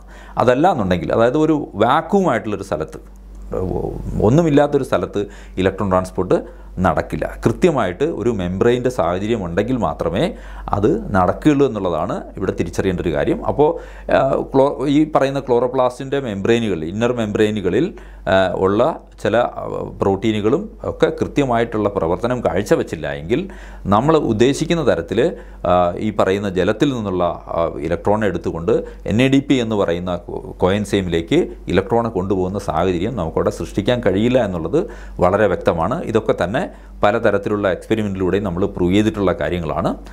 എന്തെങ്കിലും തരത്തിലുള്ള ചോർച്ച ഉണ്ടായാൽ അതായത് ഈ മെംബ്രെയിനിലൊക്കെ തന്നെ എന്തെങ്കിലും തരത്തിലുള്ള ചോർച്ച ഉണ്ടാകുകയാണെങ്കിൽ ഈ രീതിയിലുള്ളൊരു ഇലക്ട്രോൺ ട്രാൻസ്പോർട്ട് നടക്കാനുള്ള സാധ്യത വളരെ കുറവാണ്. എന്ന് പറഞ്ഞാൽ ഈ മെംബ്രെയിനൊക്കെ അതിനകത്തുള്ള ക്ലോറോപ്ലാസ്റ്റിനകത്തുള്ള ഓരോ തൈലക്കോയിഡ് വെസിക്കിളും അതിന്റെ ചുമരുകളെന്ന് പറയുന്ന മെംബ്രെയിനുകളും ഒക്കെ തന്നെ കൃത്യമായ രീതിയിൽ ഈ പറയുന്ന ഇലക്ട്രോൺ ട്രാൻസ്ഫറിന് വേണ്ട തരത്തിലുള്ള സാഹചര്യം ഒരുക്കി കൊടുത്തില്ല എങ്കിൽ ഒരു ഒരു തരത്തിലും ഈ ഈ പറയുന്ന തരത്തിലുള്ള ഇലക്ട്രോൺ ട്രാൻസ്പോർട്ട് നടക്കാനും ആത്യന്തികമായിട്ട് ഇലക്ട്രോണുകൾ എൻ എ ഡി പി എന്ന് പറയുന്ന കരിയറിലേക്ക് എത്താനുമുള്ള സാഹചര്യം വളരെ കുറവായിരിക്കും എന്നുള്ളതാണ്. അതായത് ഒരു ഇൻടാക്റ്റ് മെംബ്രെയിന്റെ എന്താ പറയുക പ്രവർത്തനം അവിടെ ഉണ്ടായാൽ മാത്രമേ ഇത് നടക്കുകയുള്ളൂ. ഫോട്ടോസിന്തസിസ് എന്നുള്ള ഒരു കാര്യം രണ്ട് തരത്തിൽ ഉള്ള റിയാക്ഷനുകളാണ് ഒന്ന് ലൈറ്റ് റിയാക്ഷൻ എന്ന് പറയുന്ന ഈ പറയുന്ന മെംബ്രെയിനുകളിൽ നടക്കുന്ന ഇലക്ട്രോൺ ട്രാൻസ്പോർട്ട് മറ്റൊന്ന് ഈ രീതിയിൽ നിർമ്മിക്കപ്പെടുന്ന എൻ എ ഡി പി എച്ചിനെ ഉപയോഗിച്ചുകൊണ്ട് കാൽവിൻ സൈക്കിൾ എന്ന് പറയുന്ന ഒരു മെറ്റബോളിക് പ്രോസസ്സിലൂടെ എന്ത് ഉൽപ്പാദിപ്പിക്കപ്പെടുന്നു? ഗ്ലൂക്കോസ് ഉൽപ്പാദിപ്പിക്കപ്പെടുന്ന ഒരു പ്രവൃത്തി അതായത് ആ റിയാക്ഷനുകൾക്ക് ലൈറ്റിന്റെ ആവശ്യമില്ല. അതുകൊണ്ടാണ് അതിനെ നമ്മൾ ഡാർക്ക് റിയാക്ഷൻ എന്ന് പറയുന്നത്. അപ്പോൾ ഫോട്ടോസിന്തസിന്റെ രണ്ട് ഫേസുകൾ എന്ന് പറയുന്നത്. ഒന്ന് ലൈറ്റ് റിയാക്ഷനും മറ്റൊന്ന് ഡാർക്ക് റിയാക്ഷൻസുമാണ് ഇത് രണ്ടും കൂടെ ചേരുമ്പോഴാണ് ലൈറ്റ് റിയാക്ഷനിലുണ്ടായ എ ടി പി മോളിക്കൂളും എൻ എ ഡി പി എച്ചും ഉപയോഗിച്ചുകൊണ്ട് ഡാർക്ക് റിയാക്ഷനിൽ കാർബൺ ഡൈ ഓക്സൈഡിനെ റെഡ്യൂസ് ചെയ്തുകൊണ്ട് ഗ്ലൂക്കോസ് എന്ന് പറയുന്ന ഒരു ആദ്യത്തെ ജൈവ തന്മാത്ര ഉണ്ടാക്കിയെടുക്കുന്ന പ്രക്രിയ പൂർണമാകുക. ഫോട്ടോസിന്തസിലൂടെ സംഭരിച്ച ഊർജം ഗ്ലൂക്കോസ് പോലുള്ള തന്മാത്രകളുടെ ബോണ്ട് എനർജി ആയിട്ട് ആണ് സൂക്ഷിക്കുക. ഈ ഗ്ലൂക്കോസുകളെ ഭക്ഷണമാക്കുന്ന മറ്റ് ജീവജാലങ്ങളിൽ നടക്കുന്ന ഓക്സീകരണ പ്രവർത്തനത്തിലൂടെയാണ് അതിലടങ്ങിയിട്ടുള്ള ഊർജത്തെ തിരിച്ച് എ ടി പിയിലേക്ക് കൊണ്ടുപോകുന്ന പ്രക്രിയ നടക്കുക. എന്ന് പറഞ്ഞാൽ എന്താണോ ഫോട്ടോസിന്തസിൽ നടന്നതിന്റെ വിപരീതമായ ഒരു പ്രവർത്തനത്തിലൂടെയാണ് ഇത് സാധ്യമാകുക. എന്ന് പറഞ്ഞാൽ ഫോട്ടോസിന്തസിസിൽ ഇലക്ട്രോണുകൾ വന്നത് വാട്ടറിൽ നിന്നാണെങ്കിൽ ജലത്തിൽ നിന്നാണെങ്കിൽ ഗ്ലൂക്കോസ് പോലുള്ള തന്മാത്രകളിലിരിക്കുന്ന ഇത്തരം ഇലക്ട്രോണുകളെ ഹൈഡ്രജന്റെ ഫോമിലിരിക്കുന്ന ഇലക്ട്രോണുകളെ തിരിച്ച് എൻ എ ഡി പോലുള്ള കോയിൻസൻസിലേക്ക് കൊണ്ടുവന്നിട്ട് അതിനെ ഓക്സിഡൈസ് ചെയ്ത് വീണ്ടും ഈ ഇലക്ട്രോണുകളെ മോളിക്കുലർ ഓക്സിജനിൽ എത്തിക്കുക എന്ന് പറയുന്ന ഒരു പ്രവർത്തനമാണ് ഈ പറയുന്ന സ്വന്തമായിട്ട് ഊർജ ഉൽപ്പാദനം നടത്താൻ ശേഷിയില്ലാത്ത കോശങ്ങളിൽ നടക്കുന്ന ഒരു തരത്തിലുള്ള മെറ്റബോളിസം. അതിൽ രണ്ട് പ്രധാന കാര്യങ്ങളാണ്.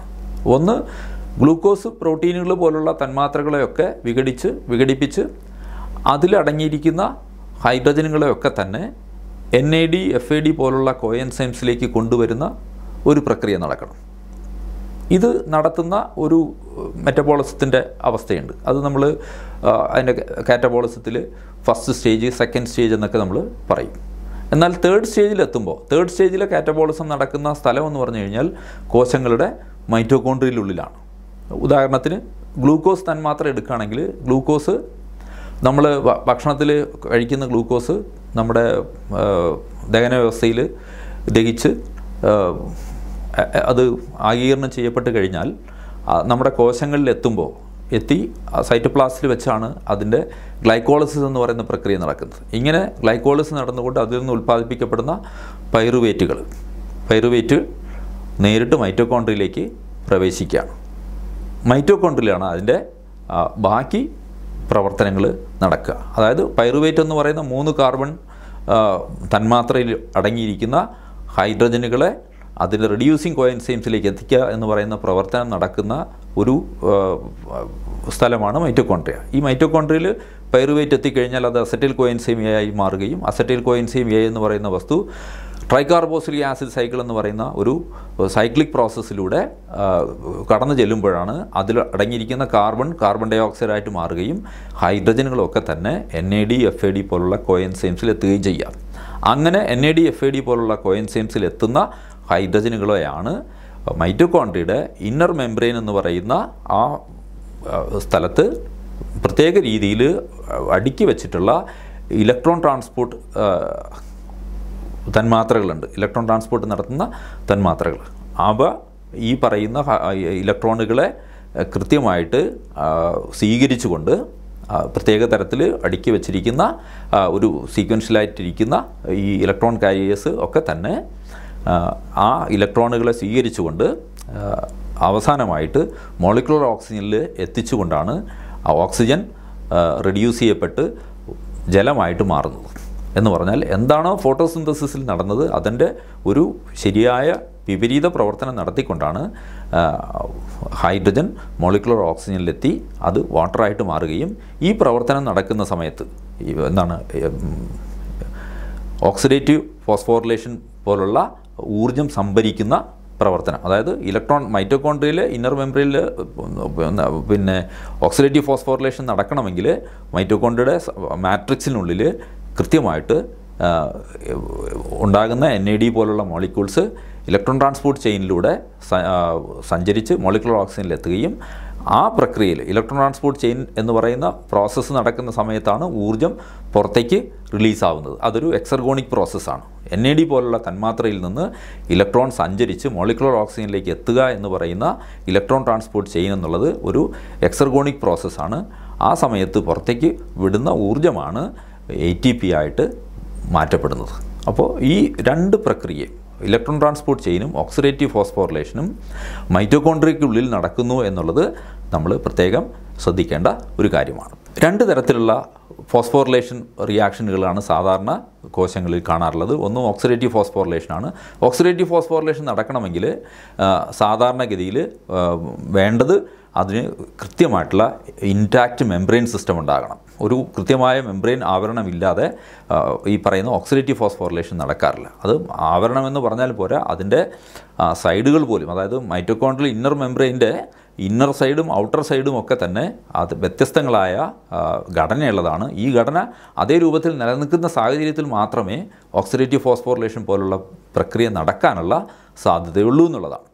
അപ്പോൾ ഓക്സിഡേറ്റീവ് ഫോസ്ഫോറിലേഷൻ എന്ന് പറയുന്ന ഒരു ഫോസ്ഫോറിലേഷൻ സാഹചര്യമുണ്ട്. അതുവഴി എ ടി പി ഉണ്ടാകുന്നൊരു അവസ്ഥയും മറ്റൊന്ന് സബ്സ്ട്രേറ്റ് ലെവൽ ഫോസ്ഫോറിലേഷനാണ്. ഇത് സാധാരണഗതിയിൽ ഒരു എക്സർഗോണിക് റിയാക്ഷനെ കപ്പിൾ ചെയ്തുകൊണ്ട് നടക്കുന്ന ഒരു എൻഡർഗോണിക് റിയാക്ഷൻ എന്നുള്ള തരത്തിൽ മാത്രം നമ്മൾ കണ്ടാൽ മതി. ഇത് ഗ്ലൈക്കോളിസിസ് നടക്കുമ്പോഴും അതുപോലെ ടി സി സൈക്കിൾ നടക്കുന്ന സമയത്തുമൊക്കെ തന്നെ അവിടെ ഇവിടെയൊക്കെ ഓരോ സബ്സ്ട്രേറ്റ് ലെവൽ ഫോസ്ഫോറിലേഷൻ നമുക്ക് കാണാൻ കഴിയും. അതായത് ഒരു എക്സർഗോണിക് റിയാക്ഷൻ ഉണ്ടായാൽ മതി അതിനെ കപ്പിൾ ചെയ്തുകൊണ്ട് നടക്കുന്ന ഒരു എൻഡർഗോണിക് റിയാക്ഷൻ എന്നുള്ള അവസ്ഥയിൽ മാത്രം നമുക്കിതിനെ വിശേഷിപ്പിക്കാവുന്നതാണ്. ഇതിന് പ്രത്യേകിച്ച് ഒരു മെംബ്രേനിയസ് അവസ്ഥയോ ഒന്നും അവിടെ മെംബ്രെയിൻ ഉണ്ടാകണം എന്നുള്ള ഒരു വാശിയൊന്നും അവിടെ ഇല്ല എന്നുള്ളതാണ്.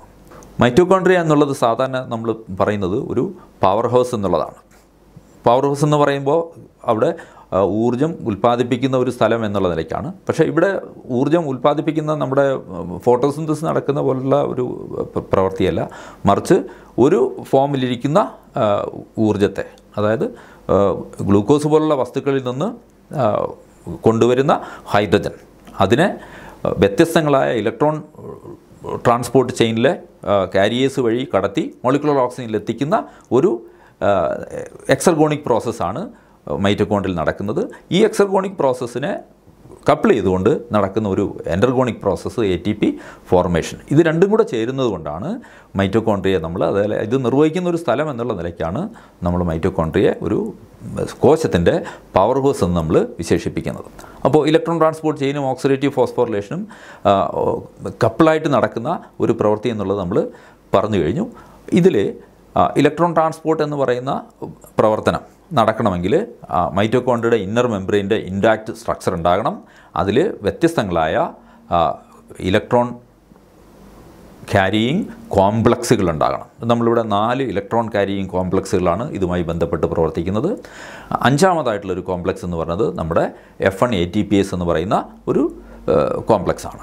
അപ്പോൾ ഈ നാല് കോംപ്ലക്സിലൂടെയും അതായത് ഇലക്ട്രോണുകൾ എൻ എ ഡി എന്ന് പറയുന്ന കോയൻസൈമിലേക്ക് എത്തുമ്പോൾ അത് വ്യത്യസ്തങ്ങളായ സ്ഥലത്ത് നടക്കുന്ന റിഡോക്സ് റിയാക്ഷനിൽ നിന്ന് എൻ എ ഡി എന്ന് പറയുന്ന കോഎൻസൈം ഇലക്ട്രോൺ എടുക്കുന്ന സമയത്ത് അത് ഇലക്ട്രോൺ ട്രാൻസ്പോർട്ട് ചെയിനിലെ ഒന്നാമത്തെ കാരിയറായിട്ടുള്ള ഒന്നാമത്തെ കാരിയർ കപ്പിളായിട്ട് നിൽക്കുന്നത് എൻ എ ഡി റിഡക്റ്റേഴ്സ് എന്ന് പറയുന്ന ഒരു കപ്പിളാണ് അതുവഴി ആദ്യത്തെ കോംപ്ലക്സ് അത് രണ്ടാമത്തെ കോംപ്ലക്സിലേക്ക് വരും.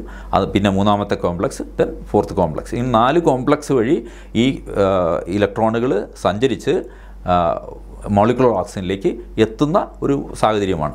എന്താണ് ഇതിന്റെ ഈ കോംപ്ലക്സുകൾ ഒന്ന് രണ്ട് മൂന്ന് നാല് എന്ന് പറഞ്ഞ് വെച്ചിരിക്കുന്നത് വെച്ച് കഴിഞ്ഞാൽ ഇതിൽ മറ്റൊന്നുമല്ല. ഊർജത്തിന്റെ ഇതിൽ കാര്യത്തെ നമ്മൾ വിശദീകരിക്കുകയാണെങ്കിൽ ഒന്നാമത്തെ ഇലക്ട്രോൺ കാരിയർ രണ്ടാമത്തെ ഇലക്ട്രോൺ കാരിയറും തമ്മിൽ അതിന്റെ റിഡോക്സ് പൊട്ടൻഷ്യലിൽ വരുന്ന ഡിഫറൻസ് ആണ്.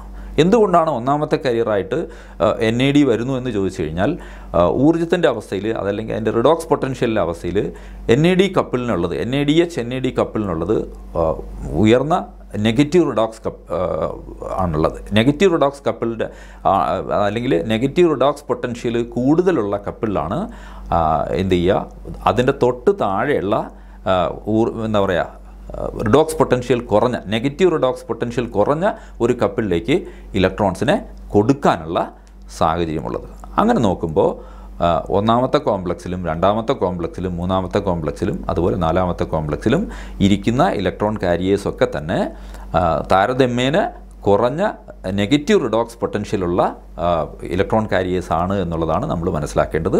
ആ നിലയ്ക്ക് ഇലക്ട്രോണുകൾ ഈ ഓരോ കാരിയർ വഴിയും കടന്ന് മോളിക്കുലർ ഓക്സിജൻ എന്ന് പറയുന്നത് ഏറ്റവും ഒടുവിൽ നിൽക്കുന്ന അൾട്ടിമേറ്റ് കാരിയർ എന്ന് നമുക്ക് മോളിക്കുലർ ഓക്സിജനെ പറയാം. അങ്ങനെ മോളിക്കുലർ ഓക്സിജനിലേക്ക് എത്തപ്പെടുന്ന സമയത്ത് മോളിക്കുലർ ഓക്സിജന്റെ മോളിക്കുലർ ഓക്സിജനും വാട്ടറും അതിനെ നമ്മളൊരു കപ്പിളായിട്ട് സ്വീകരിക്കാമെങ്കിൽ അതിന്റെ റിഡോക്സ് പൊട്ടൻഷ്യൽ എന്ന് പറഞ്ഞു കഴിഞ്ഞാൽ പോസിറ്റീവാണ് അതായത് എന്തുകൊണ്ടാണ് ഇലക്ട്രോൺ എൻ എ ഡിയിൽ നിന്ന് മോളിക്കുലർ ഓക്സിജനിലേക്ക് വരുന്നു എന്ന് വെച്ച് കഴിഞ്ഞാൽ അത് പോസിറ്റീവ് റിഡോക്സ് പൊട്ടൻഷ്യലുള്ള ഒരു കപ്പിളാണ്. അതായത് നെഗറ്റീവ് റിഡോക്സ് പൊട്ടൻഷ്യലിൽ നിന്ന് പോസിറ്റീവ് റിഡോക്സ് പൊട്ടൻഷ്യലിലേക്കുള്ള ഒരു ഡയറക്ഷനിലേക്കാണ് ഇലക്ട്രോൺസ് സഞ്ചരിക്കുന്നത്. ഇങ്ങനെ സഞ്ചരിക്കുന്ന സമയത്ത് മൈറ്റോകോൺഡ്രിയുടെ ഇന്നർ മെംബ്രെയിനിൽ എന്ത് ആണ് സംഭവിക്കുകയെന്ന് വെച്ച് കഴിഞ്ഞാൽ ഒന്നാമത്തെ കപ്പിളിന്റെ കപ്പിളിരിക്കുന്ന ഒന്നാമത്തെ കോംപ്ലക്സിലും അതുപോലെ മൂന്നാമത്തെ മൂന്നാമത്തെ കോംപ്ലക്സിലും നാലാമത്തെ കോംപ്ലക്സിലും. ഇവിടെ എല്ലാം തന്നെ മൈറ്റോകോൺഡ്രിയുടെ മാട്രിക്സിൽ നിന്ന് അതിന്റെ ഇന്റർ മെംബ്രെയിൻ സ്പേസിലേക്ക് മൈറ്റോകോൺഡ്രിയയിൽ നമുക്ക് രണ്ട് മെംബ്രെയിനുകളുണ്ടെന്നറിയാം അതിന്റെ ഔട്ടർ മെംബ്രെയിനും ഇന്നർ മെംബ്രെയിനും ഉണ്ട്. ഈ രണ്ട് മെംബ്രെയിനുകൾ ഇടയ്ക്കുള്ള ഒരു സ്പേസിനെയാണ് നമ്മൾ ഇന്റർ മെംബ്രെയിൻ സ്പേസ് എന്ന് പറയുക ഈ പറയുന്ന സ്പേസിലേക്ക് കൃത്യമായിട്ട് പ്രോട്ടോണുകളുടെ ഒരു പമ്പിംഗ് ഉണ്ടാവും. എന്ന് പറഞ്ഞാൽ electron transport coupled with proton pump എന്ന് പറയുന്നൊരു സാഹചര്യം അവിടെ സൃഷ്ടിക്കപ്പെടുകയാണ്. ഈ കോൺസ്റ്റന്റ് ആയിട്ടുള്ള സ്ഥിരമായിട്ടുള്ള proton pump during electron transport സംഭവിക്കുന്നത് കൊണ്ട് വലത്തിൽ അവിടെ ഉണ്ടാകുന്നത് ഈ ഔട്ടർ അതായത് ഇന്റർ മെമ്പറൈൻ സ്പേസ് കൂടുതൽ പോസിറ്റീവും മൈറ്റോകോണ്ടിയുടെ മാട്രിക്സ് കൂടുതൽ നെഗറ്റീവ് ആകുന്ന ഒരു സാഹചര്യം സൃഷ്ടിക്കുകയും ഇതുണ്ടാക്കുന്ന ഒരു എനർജൈസ്ഡ് സിറ്റുവേഷനാണ് അവിടെ എ ഡി പിയും ഫോസ്ഫേറ്റും കമ്പൈൻ ചെയ്ത് അഞ്ചാമത്തെ കോംപ്ലക്സ് എന്ന് പറയുന്ന F one A T P S A T P നിർമ്മിക്കാനുള്ള ഒരു ഊർജ സ്രോതസ്സായിട്ട് മാറുന്നത്. ഇത്തരമൊരു ഊർജ സ്രോതസ്സായിട്ട് ഈ മെംബ്രെയിൻ മാറണമെങ്കിൽ അതിന്റെ ഇന്റാക്റ്റ് സ്വഭാവം അതിൽ ഒരു തരത്തിലുള്ള അയോണുകളുടെ ചോർച്ചയും ഉണ്ടാകാൻ പാടില്ല.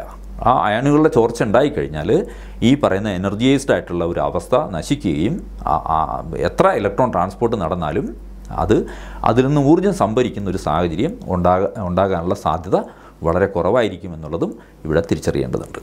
ഈ ചിത്രത്തിലൂടെ പറയാൻ ശ്രമിക്കുന്നത് എങ്ങനെയാണ് ഒന്നാമത്തെ കോംപ്ലക്സും രണ്ടാമത്തെ കോംപ്ലക്സും മൂന്നാമത്തെ കോംപ്ലക്സും അതുപോലെ നാല് നാല് കോംപ്ലക്സ് കഴിഞ്ഞ് അഞ്ചാമത്തെ കോംപ്ലക്സ് ആയിട്ടുള്ള F one A T P S അത് ഒരു ലൈനിൽ നമ്മൾ കാണിച്ചിരിക്കുന്നതേ ഉള്ളൂ.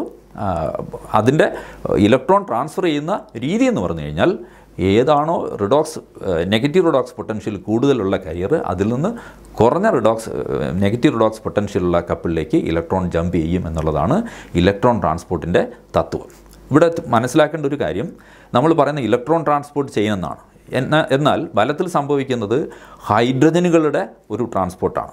ഹൈ അതായത് എൻ എ ഡി എന്ന് പറയുന്ന കോയൻസെയിം റെഡ്യൂസ്ഡ് ആയിരിക്കുന്ന സമയത്ത് അതിൽ ഹൈഡ്രജനാണ്. ഹൈഡ്രജൻ എന്ന് പറയുമ്പോൾ ഒരു ഹൈഡ്രജൻ ആറ്റം എടുത്തു കഴിഞ്ഞാൽ അതിനകത്ത് ഒരു ഒരു ഇലക്ട്രോണും ഒരു പ്രോട്ടോണും ഉണ്ട്. അപ്പോൾ ഹൈഡ്രജൻ സഞ്ചരിക്കുന്നതിന് നമുക്ക് ഇലക്ട്രോൺ സഞ്ചരിക്കുന്നു എന്ന് നമുക്ക് വിശേഷിപ്പിക്കാം. അതുകൊണ്ടാണ് ഇവിടെ ഇലക്ട്രോൺ ട്രാൻസ്പോർട്ട് ചെയ്യുന്നതെന്ന് നമ്മളിതിനെ പറയുന്നത്. ഇവിടെ മൈറ്റോകോണ്ടിയുടെ ഓർഗനൈസേഷനെ കുറിച്ച് ഒരു ഒരു ചിത്രമാണ്. ഈ പ്രവൃത്തി നടക്കണമെങ്കിൽ അതായത് മൈറ്റോകോൺഡ്രിയയിൽ ഇലക്ട്രോൺ ട്രാൻസ്പോർട്ട് ചെയിനും ഓക്സിഡേറ്റീവ് ഫോസ്ഫോറിലേഷൻ നടക്കണമെങ്കിൽ നേരത്തെ ഫോട്ടോസിന്തസിന്റെ കാര്യത്തിൽ പറഞ്ഞതുപോലെ ഒരു ഇൻടാക്റ്റ് മെംബ്രെയിന്റെ പ്രസൻസ് ഉണ്ടായിരിക്കണം.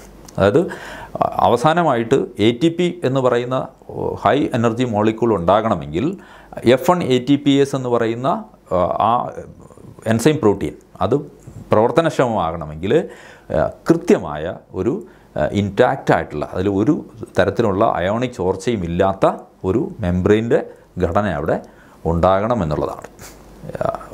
അതിനുള്ള സാഹചര്യം ഈ പറയുന്ന ജൈവാവസ്ഥയിൽ മൈറ്റോകോൺഡ്രിയുടെ ഇന്നർ മെംബ്രെയിനിൽ ഉണ്ട് എന്നുള്ളതും. എന്നാൽ ഇതിന് നമുക്ക് തെളിയിക്കാനായിട്ട് മൈറ്റോകോണ്ടയുടെ ഇന്നർ മെംബ്രെയിൻ നമ്മൾ വേർതിരിച്ചെടുത്തുകൊണ്ട് അതിന്റെ സൈഡുകളെ ഇൻസൈഡ് ഔട്ടൊക്കെ ആക്കി മാറ്റിയിട്ട് നടത്തിയ പരീക്ഷണങ്ങളിലൊക്കെ തന്നെ എങ്ങനെയാണോ പ്രോട്ടോൺ നോർമൽ കേസിൽ മൈറ്റോകോണ്ടയുടെ മാട്രിക്സിൽ നിന്ന് ഇലക്ട്രോൺ ട്രാൻസ്പോർട്ട് നടക്കുന്ന സമയത്ത് ഇന്നർ മെംബ്രെയിൻ സ്പേസിലേക്ക് പോകുന്നു.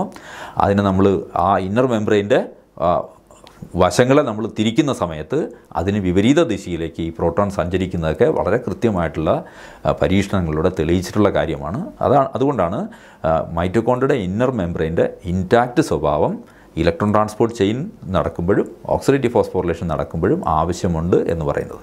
ഈ പറയുന്ന F N A T P S എന്ന് പറയുന്ന എൻസൈം ഈ പ്രവർത്തനം നടത്തണമെങ്കിൽ F N A T P S ഒരിക്കലും ഒരു ശൂന്യതയിൽ നിന്നുകൊണ്ട് പ്രവർത്തിക്കുന്ന ഒരു തന്മാത്രയല്ല. അതല്ലെങ്കിൽ അത്തരം ഒരു കോംപ്ലക്സ് അല്ല. അതിന് ഇന്റാക്റ്റ് ആയിട്ടുള്ള മൈറ്റോകോൺഡ്രിയുടെ ഇന്നർ മെംബ്രെയിന്റെ ആവശ്യമുണ്ട് എന്നുള്ളതാണ് അത് നമ്മൾ പരിണാമത്തിന്റെ വശത്തു നിന്നുകൊണ്ട് നോക്കുന്ന സമയത്ത് ഈ F N A T P എസും അതുപോലെ ഈ മെംബ്രെയിനും ഒരു കോ ഇവല്യൂഷന്റെ ഒരു സാധ്യതയുള്ള ഒരു സ്ഥലമായിട്ടാണ് നമുക്ക് വിശേഷിപ്പിക്കാൻ കഴിയുക എന്നുള്ളതാണ്. ഈ നമ്മുടെ ഇലക്ട്രോൺ ട്രാൻസ്പോർട്ട് ചെയിന്റെ ഒരു ഓവറോൾ പിക്ചർ പറയുകയാണെങ്കിൽ ഒറ്റ വരിയിൽ നമ്മൾ എഴുതുകയാണെങ്കിൽ ഒരു N A D H plus H plus അങ്ങനെയാണ് നമ്മൾ റെഡ്യൂസ്ഡ് എൻ എ ഡി എച്ചിന് നമ്മൾ എഴുതാറുള്ളത്. ഹാഫ് ഓ ടു ഒരു ഓക്സിജൻ ഓക്സിജൻ മോളിക്കുള്ളിൽ രണ്ട് ഓക്സിജൻ ഉണ്ട്. അതിൽ ഹാഫ് ഓ ടു എന്ന് ഇരിക്കുന്ന എന്താ പറയുക രണ്ട് ഹൈഡ്രജൻ വരുമ്പോൾ ഒരു വാട്ടർ ഉണ്ടാകണമെങ്കിൽ അതിന്റെ ഒരു അറ്റോമിക് ഓക്സിജൻ മതി എന്നുള്ളതാണ്. അതുകൊണ്ടാണ് നമ്മൾ ആ റിയാക്ഷൻ അങ്ങനെ എഴുതിയിരിക്കുന്നത്. ഹാഫ് ഓ ടു അതിൽ നിന്നുണ്ടാകുന്നത് ഒരു എൻ എ ഡി പ്ലസും ഒരു വാട്ടറും ഉണ്ടാകുമെന്നുള്ളതാണ് അതായത് ഓരോ പെയർ ഇലക്ട്രോൺ വരുന്ന സമയത്തും അതിന്റെ ഒപ്പം രണ്ട് പ്രോട്ടോണും വരും. അങ്ങനെ ഒരു മോളിക്കുൾ ഓക്സിജൻ റെഡ്യൂസ് ചെയ്യപ്പെട്ട് വാട്ടർ ആകുന്ന ഒരു സാഹചര്യം ഉണ്ടാകും. ഈ പ്രക്രിയയിലെ കൂടെ നമ്മുടെ പഴയ കണ്ടെത്തലെന്ന് വെച്ച് കഴിഞ്ഞാൽ ഈ പ്രക്രിയ ഒരു എൻ എ ഡി എച്ച് പിന്നെ ഓക്സിഡൈസ് ചെയ്യപ്പെടുന്ന സമയത്ത് ഇലക്ട്രോൺ ട്രാൻസ്പോർട്ട് ചെയിനിലൂടെ മൂന്ന് എ ടി പി മോളിക്യൂൾ ഉണ്ടാകുമെന്നാണ് നമ്മൾ പഴയ കണക്കുകൾ വെച്ച് പറഞ്ഞിരുന്നത്. എന്നാൽ കുറേക്കൂടെ സൂക്ഷ്മമായ സമീപകാലത്തുള്ള കണക്കുകൾ സൂചിപ്പിക്കുന്നത് രണ്ടര എ ടി പി ഉണ്ടാകാനുള്ള സാധ്യതയാണുള്ളത് എന്നുള്ളതാണ് അതേസമയം ഒരു എഫ് എ ഡി പോലുള്ള ഒരു കോയിൻസെയിമാണ് ഒരു പെയർ ഇലക്ട്രോണിനെ കൊടുക്കുന്നെങ്കിൽ അവിടെ ഇപ്പോഴത്തെ കണക്കനുസരിച്ച് ഒന്നര എ ടി പി ഉണ്ടാകാനുള്ള സാധ്യതയാണുള്ളത്. മുൻപ് ആണെങ്കിൽ നമ്മൾ പറഞ്ഞിരുന്നത് രണ്ട് എ ടി പി ഉണ്ടാകുമെന്നുള്ളതാണ്. ഇതൊക്കെ ഈ കണക്കുകളൊക്കെ തന്നെ ഒരു ഗ്ലൂക്കോസ് മോളിക്യൂളിൽ എത്ര ഊർജം അടങ്ങിയിരിക്കുന്നു എന്നുള്ളതും അത് ഈ പറയുന്ന സെല്ലുലോർ ഓക്സിഡേഷനിലൂടെ നടന്ന് അത് പൂർണമായിട്ടും അതിലുള്ള മുഴുവൻ ഊർജവും എ ടി പി ആയിട്ട് മാറുന്ന സമയത്ത് എത്ര എ ടി പി ഉണ്ടാകുമെന്ന് പറയുന്ന ഒരു ബാലൻസ് ഷീറ്റ് നമ്മൾ നിർമ്മിച്ച് നോക്കിക്കഴിഞ്ഞാൽ നമുക്ക് മനസ്സിലാവും. ബയോളജിക്കൽ ഓക്സിഡേഷനിലൂടെ നമുക്ക് എത്ര ശതമാനം ഒരു തന്മാത്രയിൽ അടങ്ങിയിരിക്കുന്ന എത്ര ശതമാനം ഊർജത്തെയാണ് നമുക്ക് എ ടി പി എനർജിയാക്കി മാറ്റാൻ കഴിയുക എന്നുള്ള കണക്കൊക്കെ നമുക്ക് കൃത്യമായിട്ടും കണക്ക് കൂട്ടി എടുക്കാം എന്നുള്ളതാണ് അതിനുള്ള പരീക്ഷണങ്ങളുമൊക്കെ നടത്തപ്പെട്ടിട്ടുണ്ടെന്നുള്ളതും തിരിച്ചറിയണം. ഇതാണ് ഇലക്ട്രോൺ ട്രാൻസ്പോർട്ട് ചെയിനുമായി ബന്ധപ്പെട്ട് നമ്മുടെ ഒരു എനർജി ഡയഗ്രാം വയ്ക്കുകയാണെങ്കിൽ നേരത്തെ നമ്മൾ ഫോട്ടോസിന്തസിൽ പറഞ്ഞ പോലെ എക്സ് ആക്സിസിൽ നമ്മൾ ഓരോ കോംപ്ലക്സിനെയും വയ്ക്കുന്നു. അതിന്റെ ഊർജത്തിന്റെ അവസ്ഥയിലാണ് അതല്ലെങ്കിൽ അതിന്റെ റെഡോക്സ് പൊട്ടൻഷ്യലിന്റെ അവസ്ഥയിലാണ് നമ്മളിത് അറേഞ്ച് ചെയ്യുക. ലെഫ്റ്റ് ഇടത്തു നിന്ന് വശത്തു നിന്ന് വലത് വശത്തേക്ക് complex one two three four five ആ രീതിയിലാണ് നമ്മൾ വയ്ക്കുക. അതേസമയം വൈ ആക്സിസിൽ റിഡോക്സ് പൊട്ടൻഷ്യൽ നമ്മൾ മെൻഷൻ ചെയ്തിട്ടുണ്ട്. അതിൽ ഏറ്റവും ഉയർന്ന തലത്തിൽ നിൽക്കുന്നത് എൻ ഐ ഡി കപ്പിളാണ്. അത് കഴിഞ്ഞിട്ട് എഫ് ഐ ഡി കപ്പിളാണ്. പിന്നെ ഓരോന്നും ടു ത്രീ ഫോർ എന്ന് പറഞ്ഞിട്ട് ഇങ്ങനെ താഴേക്ക് വരാം. താഴേക്ക് വരുന്നത് എന്തുകൊണ്ടെന്ന് വെച്ച് കഴിഞ്ഞാൽ ഏറ്റവും അവസാനമായിട്ട് മോളിക്കുലർ ഓക്സിജനാണ്. മോളിക്കുലർ ഓക്സിജനിലേക്ക് ഇലക്ട്രോൺ എത്തുന്ന ഒരു സാഹചര്യത്തെയാണ് ഈ ചിത്രത്തിലൂടെ അല്ലെങ്കിൽ ഈ ഡയഗ്രത്തിലൂടെ എനർജി ഡയഗ്രാം എന്നാണ് നമ്മളിത് പറയുക വിശദീകരിക്കാൻ ശ്രമിച്ചിട്ടുള്ളത്. വളരെ കൃത്യമായിട്ട് ഊർജം ഉയർന്ന തലത്തിൽ നിന്ന് എൻ എ ഡി പോലുള്ള ഉയർന്ന ഊർജത്തിന്റെ തലത്തിൽ നിൽക്കുന്ന ഒരു കപ്പിളിൽ നിന്ന് ഇലക്ട്രോൺ ജമ്പ് ചെയ്ത് താഴ്ന്ന ഊർജത്തിന്റെ തലത്തിലുള്ള മോളിക്കുലർ ഓക്സിജനിലേക്ക് എത്തുന്ന സമയത്ത് ഇതൊരു എനർജി റിലീസിങ് പ്രക്രിയയാണ്. അതിനെയാണ് നമ്മൾ എക്സർഗോണിക് പ്രോസസ്സ് എന്ന് പറയുന്നത്. ഈ ഊർജത്തിന്റെ വീഴ്ചയുടെ സമയത്ത് ആണ് ആ പുറത്തേക്ക് വരുന്ന ഊർജത്തെ എ ടി പി എനർജിയാക്കി മാറ്റുന്നത് എന്നുള്ളതാണ് ഓക്സിഡേറ്റീവ് ഫോസ്ഫോറിലേഷനിലൂടെ ഈ മൈറ്റോകോൺഡ്രിയൽ ഇന്നർ മെംബ്രെയിൻ നടത്തിയെടുക്കുന്നത്.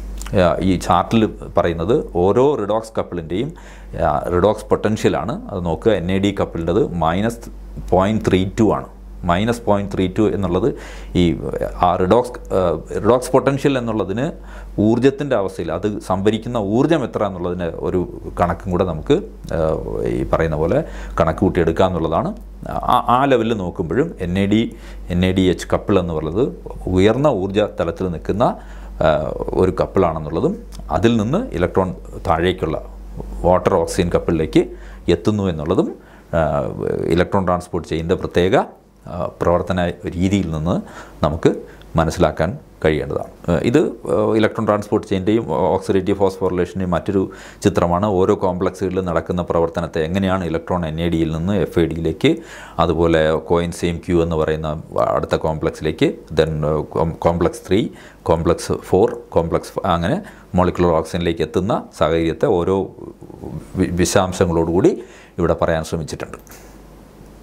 അവസാനമായിട്ട് എ ടി പി സിന്തേസ് എന്ന് പറയുന്ന enzyme A T P synthase എന്ന് പറയുന്നത് അതിന്റെ ഘടന വെച്ചുകൊണ്ട് മൈറ്റോകോൺഡ്രിയുടെ ഇന്നർ മെംബ്രെയിനിൽ നിന്ന് പ്രവർത്തിക്കുന്ന ഒരു ഇന്റഗ്രൽ പ്രോട്ടീൻ എന്ന് നമുക്ക് വേണമെങ്കിൽ പറയാം. ഇതിന്റെ എഫ് ഒ എന്ന് പറയുന്ന റീജൻ അല്ലെങ്കിൽ എഫ് സീറോ എന്ന് പറയുന്ന റീജൻ മെംബ്രെയിൻ ഇന്റഗ്രലായിട്ട് നിൽക്കുകയും എഫ് വൺ എന്ന് പറയുന്ന പാർട്ട് പുറത്തേക്ക് പ്രൊജക്റ്റ് ചെയ്ത് നിൽക്കുകയും ചെയ്യുന്ന ഒരു സാഹചര്യമാണുള്ളത്. ഈ എഫ് വൺ പാർട്ടിലാണ് അതിന്റെ കാറ്റലിറ്റിക് പാർട്ട് എന്ന് പറയുക. ഇതിന്റെ ഘടനയൊക്കെ വളരെ കൃത്യമായിട്ട് പഠിക്കപ്പെട്ടിട്ടുള്ള ഇതൊരു പ്രോട്ടീൻ എന്നുള്ള നിലയ്ക്ക് മാത്രമല്ല ഇതൊരു മോട്ടറായിട്ട് പ്രവർത്തിക്കാനുള്ള ഒരു സാഹചര്യമുണ്ട്. അതായത് ഊർജത്തിന്റെ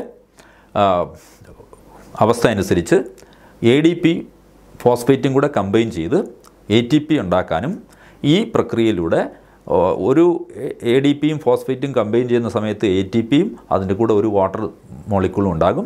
ഇങ്ങനെ ഉണ്ടാകുന്ന വാട്ടർ മോളിക്കൂൾ അവിടെ തന്നെ അയണൈസ് ചെയ്യപ്പെട്ട് എങ്ങനെയാണോ ഇലക്ട്രോൺ ട്രാൻസ്പോർട്ട് ചെയ്യുന്ന നടക്കുന്ന സമയത്ത് മൈറ്റോകോൺഡ്രൽ മാട്രിക്സിൽ നിന്ന് ഇന്റർ മെംബ്രെയിൻ സ്പേസിലേക്ക് പ്രോട്ടോണുകൾ പമ്പ് ചെയ്യപ്പെടുന്നത്.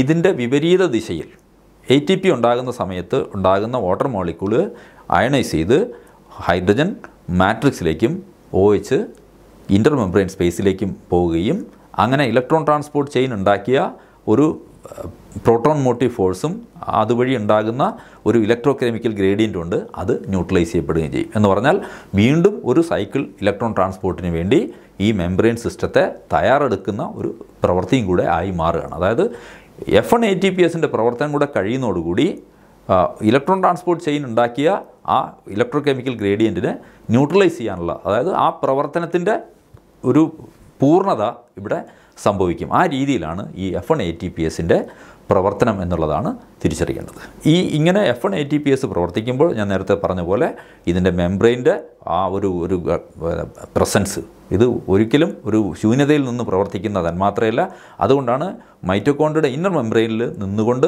അതിന്റെ അതിന്റെതായ ഘടന ഇതിന് ഇതിന്റെ പ്രവർത്തനത്തിന് ആവശ്യമാണ് എന്ന് നമ്മൾ മനസ്സിലാക്കിയെടുക്കേണ്ടത്. മറ്റൊരു കാര്യം ഇതിന്റെ ഫോസ്ഫറസ് ഓക്സിജൻ റേഷ്യോ ആണ് അതായത് ഒരു എ ടി പി ഉണ്ടാകുന്ന സമയത്ത് ഒരു ഇനോർഗാനിക് ഫോസ്ഫേറ്റ് അവിടെ ഉപയോഗിക്കുന്നുണ്ട്. അവിടെ എത്ര ഓക്സിജൻ വരുന്നുണ്ട് എന്നുള്ളതും അതിന്റെ ഒരു റേഷ്യോ ആയിട്ട് നമുക്ക് പറയാൻ കഴിയും. ഞാൻ നേരത്തെ പറഞ്ഞു ഒരു എൻ എ ഡി എച്ച് അതിന്റെ ഇലക്ട്രോണുകൾ കൊടുത്ത് ഒരു അറ്റോമിക് ഓക്സിജൻ റെഡ്യൂസ് ചെയ്യപ്പെടുന്ന സാഹചര്യം വരുന്ന സമയത്ത് അവിടെ മൂന്ന് എ ടി പി ഉണ്ടാകുന്നു എന്ന് നമ്മൾ എടുക്കുകയാണെങ്കിൽ അതിന്റെ പി ബൈ ഒ റേഷ്യോ എന്ന് പറയുന്നത് നമുക്ക് പെർ ഓക്സിജൻ ആറ്റം നമുക്ക് മൂന്ന് എന്ന് പറയാൻ കഴിയും. ആ രീതിയിൽ അതിന്റെ പി ബൈ ഒ റേഷ്യോ നിലനിൽക്കും. അതായത് ഓരോ ഓക്സിജൻ ആറ്റം ഉപയോഗിക്കുമ്പോഴും എത്ര ഫോസ്ഫറസ് ഉപയോഗിച്ചു എന്നുള്ളത് നമുക്ക് കൃത്യമായിട്ടും മൈറ്റോകോൺഡ്രിയിലെ ഫോസ്ഫേറ്റിന്റെ ഉപയോഗം വെച്ചുകൊണ്ട് നമുക്ക് കണക്കാക്കാൻ കഴിയുന്ന ഒരു കാര്യമാണ് അതിൽ നിന്നാണ് ഈ പി വൈ ഒ റേഷ്യോ പറയുന്നത്. ഇതൊക്കെ മൈറ്റോകോൺഡ്രിയുടെ പ്രവർത്തനത്തിൽ സൂക്ഷ്മ തലത്തിലേക്ക് പോകുന്ന സമയത്ത് എങ്ങനെയാണ് ഈ ഊർജത്തിന്റെ സംഭരണം നടക്കുന്നു എന്നുള്ളതിനെ വിശദീകരിക്കാൻ നമുക്ക് പറ്റുന്ന മറ്റൊരു കാര്യം കൂടെയാണ് പി വൈ ഒ റേഷ്യോ. ഇത് ഈ ചിത്രം സൂചിപ്പിക്കുന്നത് എങ്ങനെയാണ് F one A T P S A T P ഉണ്ടാക്കുന്നു എന്നുള്ളതിനെക്കുറിച്ച് പറയുന്ന ഒരു കാര്യമാണ്. പ്രോട്ടോൺ ഫ്ലോ നടക്കുമ്പോൾ അതിന്റെ ഈ ഈ പറയുന്ന സി യൂണിറ്റ്സ് സി യൂണിറ്റ്സ് എന്ന് പറയുന്നത് ഇതിന്റെ എഫ് സീറോ ഭാഗത്ത് വരുന്ന ഒരു പ്രോട്ടീൻ യൂണിറ്റുകളാണ്. അതിന്റെ റൊട്ടേഷൻ നടക്കുന്നു. ഈ റൊട്ടേഷൻ ഒപ്പം തന്നെ ഈ പ്രോട്ടീനുകളുടെ ചില ഭാഗത്തുണ്ടാകുന്ന ഒരു കൺഫർമേഷണൽ ചേഞ്ച് അത്തരത്തിലൊരു കൺഫർമേഷണൽ ചേഞ്ചിന്റെ വെളിച്ചത്തിലും കൂടെയാണ് ഈ എ ഡി പിയും ഇനോർഗാനിക് ഫോസ്ഫേറ്റും കൂടെ ചേർന്നിട്ട് എ ടി പി ആയിട്ട് മാറുന്നത് എന്നുള്ളതാണ് ഈ ഇവിടെ വിശദീകരിക്കാൻ ശ്രമിക്കുന്ന ഒരു കാര്യം. അതിന്റെ നടക്കുന്ന മെക്കാനിസം എന്തെന്നുള്ള തരത്തിലാണ് ഇത് പറഞ്ഞു പോകുന്നത്. മാത്രമല്ല ഈ F one A T P എസിന്റെ പ്രവർത്തനത്തിൽ നമ്മൾ എ ടി പി ഫോമേഷൻ നമ്മൾ പിന്നെ ഏറ്റവും ഉചിതമായ ഒരു മെക്കാനിസം പറയുന്നത് കെമി ഓസ്മോട്ടിക് തിയറി എന്ന് പറയുന്ന തരത്തിലാണ്. കെമി ഓസ്മോട്ടിക് തിയറി പറയുന്നത് മറ്റൊന്നുമല്ല ഇലക്ട്രോൺ ട്രാൻസ്പോർട്ട് നടക്കുന്ന സമയത്ത് പ്രോട്ടോൺ പമ്പിംഗ് ഉണ്ടാകുന്നു അതിന്റെ ഭാഗമായിട്ട് ഉണ്ടാകുന്ന ഒരു ഇലക്ട്രോ കെമിക്കൽ ഗ്രേഡിയന്റിൽ നിന്ന് സംഭരിച്ചു വയ്ക്കുന്ന ഊർജമാണ് എ ടി പി ഫോമേഷൻ ഉപയോഗിക്കുന്നത് എന്നുള്ളതാണ്. ഇതിനെ സഹായിക്കുന്ന ഒരു മോളിക്കുളാണ് F one A T P S F one A T P S എന്നുള്ളത് ഒരു അയൺ പമ്പും കൂടെയാണ്. അതുകൊണ്ടാണ് അതവിടെ കെമി ഓസ്മോട്ടിക് തിയറി എന്നുള്ള തരത്തിലേക്ക് ഈ ഈ പ്രവർത്തനത്തെ അതിന്റെ മെക്കാനിസത്തെ വിശദീകരിക്കാൻ ശ്രമിക്കുന്നത്. ഈ ചിത്രം സൂചിപ്പിക്കുന്നത് എന്താണ് ഫോട്ടോസിന്തസിസ് അതും നമ്മുടെ മൈറ്റോകോണ്ടിൽ നടക്കുന്ന റെസ്പിറേഷൻ എന്താണ്? റെസ്പിറേഷനും ഫോട്ടോസിന്തസിസുമായിട്ടുള്ള വ്യത്യാസത്തെ സൂചിപ്പിക്കുന്ന ഒരു ഡയഗ്രമാണ്. അതായത് ഫോട്ടോസിന്തസിസിൽ ഊർജം വരുന്നത് സൂര്യപ്രകാശത്തിൽ നിന്നാണ്. അവിടെ വാട്ടറിനെ എന്ത് ചെയ്യുന്നുണ്ട്? വിഘടിച്ച് അവിടെ നിൽക്കുന്ന ഇലക്ട്രോണെ എടുത്തുകൊണ്ട് കാർബൺ ഡൈ ഓക്സൈഡിനെ റെഡ്യൂസ് ചെയ്യാനായിട്ട് കൊണ്ടുപോകുന്നു. അവിടെ ഊർജം പുറമേ നിന്ന് കൊടുക്കുക ചെയ്യുന്നത് അതായത് ഗ്രൗണ്ട് ലെവലിൽ നിൽക്കുന്ന വാട്ടറിൽ നിന്ന് ഇലക്ട്രോൺ എടുത്ത് എൻ എ ഡി പിയിലേക്ക് കൊണ്ടുപോയിട്ട് ആ N A D P reduced ആയിട്ട് റെഡ്യൂസ്ഡ് എൻ എ ഡി പിയെ കാർബൺ ഡൈ ഓക്സൈഡിനെ റെഡ്യൂസ് ചെയ്ത് ഗ്ലൂക്കോസ് ആക്കി മാറ്റുന്ന ഒരു ഒരു പ്രവൃത്തിയാണ് ഫോട്ടോസിന്തസിലെങ്കിൽ അങ്ങനെ ഉണ്ടാകുന്ന ഗ്ലൂക്കോസിനെ വിഘടിപ്പിച്ച് അതിലിരിക്കുന്ന ഹൈഡ്രജനെ എൻ എ ഡി പോലുള്ള ഉയർന്ന ഊർജത്തിന്റെ അവസ്ഥയിലുള്ള കാരിയേഴ്സിലേക്ക് കൊണ്ടുവന്ന് അതിനെ വീണ്ടും ഉയർന്ന ഊർജ തലത്തിൽ നിന്ന് താഴ്ന്ന ഊർജ തലത്തിലേക്കുള്ള വാട്ടർ ഓക്സിജൻ കപ്പിളിലേക്ക് അല്ലെങ്കിൽ ഓക്സിജനിലേക്ക് ഇലക്ട്രോണെ കൊണ്ടുവന്ന് ഓക്സിജനെ റെഡ്യൂസ് ചെയ്ത് വാട്ടറാക്കി മാറ്റുന്ന റെസ്പിറേറ്ററി ചെയിൻ അതുകൊണ്ട് റെസ്പിറേഷൻ എന്നുള്ള ആ വാക്ക് നമ്മൾ ഉപയോഗിക്കേണ്ടത്. മോളിക്കുലർ റെസ്പിറേഷൻ എന്താണെന്ന് ചോദിച്ചു കഴിഞ്ഞാൽ അത് ഹൈഡ്രജൻ ഓക്സിജനിലേക്ക് എത്തുന്ന അതായത് മൈറ്റോകോൺഡ്രിൽ മൈറ്റോകോൺഡ്രിൽ നടക്കുന്ന ഈ ഈ പ്രവർത്തനത്തെയാണ് നമ്മൾ യഥാർത്ഥ റെസ്പിറേഷൻ എന്ന് വിളിക്കേണ്ടത്. അവിടെയാണ് ഓക്സിജൻ എന്ത് ചെയ്യപ്പെടുന്നത്? ഹൈഡ്രജനുമായിട്ട് ചേർന്ന് വാട്ടറായിട്ട് മാറുന്നത്. ആ പ്രക്രിയയാണ് നമ്മൾ മോളിക്കുലർ റെസ്പിറേഷൻ എന്ന് പറയുന്നത്. ഈ പ്രവർത്തനത്തിന്റെ ഭാഗമായിട്ട് ഒരു ഗ്ലൂക്കോസ് തന്മാത്രയിൽ നിന്ന് മാക്സിമം നമ്മൾ കണക്കാക്കുന്നത് മുപ്പത്തി ആറിൽ പരം എ ടി പി ഉണ്ടാക്കപ്പെടുന്നു എന്നുള്ളതാണ്. അത് പഴയ കണക്ക് വെച്ചിട്ടാണ്. അതായത് ഒരു എൻ എ ഡി ഓക്സിഡൈസ് ചെയ്യുന്ന സമയത്ത് മൂന്ന് എ ടി പി ഉണ്ടാകും എന്നുള്ള കണക്ക് വെച്ചുകൊണ്ടാണ് ഇവിടെ മുപ്പത്താറ് എ ടി പി എന്നുള്ള ഒരു ബാലൻസ് ഷീറ്റ് നമ്മൾ ഉണ്ടാക്കുന്നത്. അതായത് ഒരു ഫോട്ടോസിന്തസിസ് എന്നുള്ളത് എന്താ പറയുക പുറമേ നിന്നുള്ള ഊർജത്തെ സംഭരിക്കുന്ന ഒരു പ്രവർത്തനവും മൈറ്റോകോണ്ടിൽ നടക്കുന്ന റെസ്പിറേഷൻ എന്നുള്ളത് ഊർജം സംഭരിച്ച് വച്ചിരിക്കുന്ന ഒരു തന്മാത്രയെ ഓക്സിഡൈസ് ചെയ്ത് ആ ഊർജത്തെ എന്ത് ചെയ്യുന്നുണ്ട് എ ടി പിയിലേക്ക് കൊണ്ടുവരുന്ന ഒരു പ്രക്രിയ എന്നുള്ള തരത്തിലും ആണ് ഇതിനെ രണ്ടിനെയും നമ്മൾ ഒരു ചിത്രത്തിലേക്ക് കൊണ്ടുവന്നാൽ അത് ഈ രൂപത്തിലായിരിക്കും ഉണ്ടാകുക ഇനി നമ്മൾ ഈ പറയുന്ന ഊർജത്തിന്റെ മാറ്റങ്ങൾ നടത്തിയെടുക്കുന്ന ഒരു സിസ്റ്റമാണല്ലോ നമ്മളെ എ ടി പി എസ് എന്ന് പറയുന്നത്. ഈ എ ടി പി എസും നമ്മുടെ എവല്യൂഷൻ എന്ന് പറയുന്ന പ്രവർത്തനവുമായിട്ടുള്ള ഒരു ഒരു ബന്ധം അതിനെക്കുറിച്ചുള്ളൊരു അന്വേഷണം നമുക്ക് നടത്തുകയാണെങ്കിൽ തീർച്ചയായിട്ടും അതായത് F N A T P S പോലുള്ള തന്മാത്രകൾ ജീവന്റെ പല തലങ്ങളിൽ അത് നമ്മൾ മൈറ്റോകോണ്ടിൽ കാണുന്ന പോലെ തന്നെ ഈ ഡീപ് സീയിൽ കാണുന്ന തെർമൽ വെന്റുകളടക്കം അതുപോലെ നമ്മുടെ മനുഷ്യന്റെ പിന്നെ ഇൻഡസ്ട്രീനിൽ കാണുന്ന ബാക്ടീരിയയിൽ ഇത്തരം പ്രവൃത്തി ചെയ്തെടുക്കാൻ കഴിയുന്ന സാഹചര്യം. ഇതൊക്കെ തന്നെ സൂചിപ്പിക്കുന്നത് F N A T P എസിനെ പോലെ ഒരു പ്രത്യേക മെംബ്രേനിയസ് അറേഞ്ച്മെന്റിൽ നിന്നുകൊണ്ട് വരുന്ന ഊർജത്തെ കൃത്യമായിട്ടും കെമിക്കൽ ഊർജമാക്കി മാറ്റാൻ കഴിയുന്ന ഒരു ഒരു ഒരു സാഹചര്യം സൃഷ്ടിക്കുന്ന ഒരു തന്മാത്ര എന്നുള്ള നിലയ്ക്കാണ്. ഇതിന് പരിണാമമായിട്ടുള്ള ഒരു ഒരു ഒരു ബന്ധം എന്ന് പറയുന്നത് ഒരു കോശം ഉണ്ടായി അതിനുള്ളിൽ മൈറ്റോകോൺട്രിയ നിന്ന് പ്രവർത്തിക്കുന്ന സാഹചര്യങ്ങൾക്ക് മുമ്പ് ഒരു കോശം ഉണ്ടാകുന്ന സാഹചര്യത്തിൽ തന്നെ അല്ലെങ്കിൽ ആദ്യമായി എങ്ങനെ ഒരു കോശം ഉണ്ടായി എന്നുള്ള ഒരു ചോദ്യത്തിന് ഉത്തരം നമ്മൾ പറയാൻ ശ്രമിക്കുമ്പോൾ ശരിക്കും പറഞ്ഞു കഴിഞ്ഞാൽ ഊർജത്തിന്റെ കൈമാറ്റം എങ്ങനെ ആദ്യമായിട്ട് സംഭവിച്ചിരിക്കാം എന്നുള്ള അന്വേഷണമായിരിക്കും അവിടെ നടത്തുന്നത്. അങ്ങനത്തെ ഒരു അന്വേഷണം നടത്തി പോകുമ്പോഴാണ് ഇന്ന് നമുക്ക് അതിനുള്ള സാഹചര്യങ്ങൾ ഈ പറയുന്ന ഡീപ് സീലുള്ള ഹൈഡ്രോതെർമൽ വെന്റുകളെക്കുറിച്ചും അവിടെ നടക്കുന്ന ഊർജത്തിന്റെ കൊടുക്കൽ വാങ്ങൽ അല്ലെങ്കിൽ അതിന്റെ സാധ്യതകളെക്കുറിച്ചുള്ള അന്വേഷണങ്ങളും അവിടെ നിന്ന് കിട്ടുന്ന ചില തെളിവുകളും. അതായത് ഒരു ഹൈഡ്രോ തെർമൽ വെന്റിൽ പോലും സമാനമായ തരത്തിൽ ഒരു മൈറ്റോകോൺഡ്രിയയുടെ ഇന്നർ മെമ്പറിയിൽ നടക്കുന്ന പോലുള്ള ഒരു ഊർജത്തിന്റെ സംഭരിക്കാനുള്ള സാഹചര്യം ഒരു F N I T P S എന്ന് പറയുന്ന എൻസൈമിനെ എങ്ങനെ ഉണ്ടാകുന്നു അതുപോലുള്ളൊരു സാഹചര്യം ഹൈഡ്രോതെർമൽ വെന്റുകളിലെ പ്രത്യേക സിറ്റുവേഷനുകളിൽ ഉണ്ടാകാം എന്ന് പറയുന്ന തരത്തിലേക്ക് നമ്മുടെ ചിന്തകൾ പോകേണ്ട ഒരു സാഹചര്യം അവിടെ സൃഷ്ടിക്കപ്പെടുന്നു എന്നുള്ളതാണ്.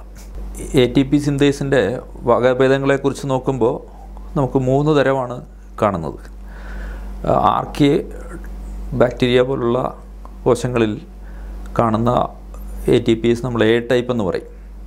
അതേസമയം യുക്കാരാറ്റിക് സെല്ലുകളിൽ പ്രത്യേകിച്ച് വാക്യൂൾസ് ഒക്കെയുള്ള കോശങ്ങളിൽ വാക്യൂളിൽ കാണുന്ന V type A T P എസും പിന്നെ സാധാരണ മൈറ്റോകോൺട്രിയയിൽ കാണുന്ന F type A T P എസുമാണ് ഇത് മൂന്നും ഒരേ തരത്തിലെ പ്രവർത്തനങ്ങൾ നടത്തുന്ന എൻസൈമുകളാണ് ഇതിന്റെ ഘടനയിലുമൊക്കെ ഏറെയും കുറഞ്ഞും ചെറിയ വ്യത്യാസങ്ങൾ മാത്രമേ കാണുന്നു എന്നുള്ളതാണ്.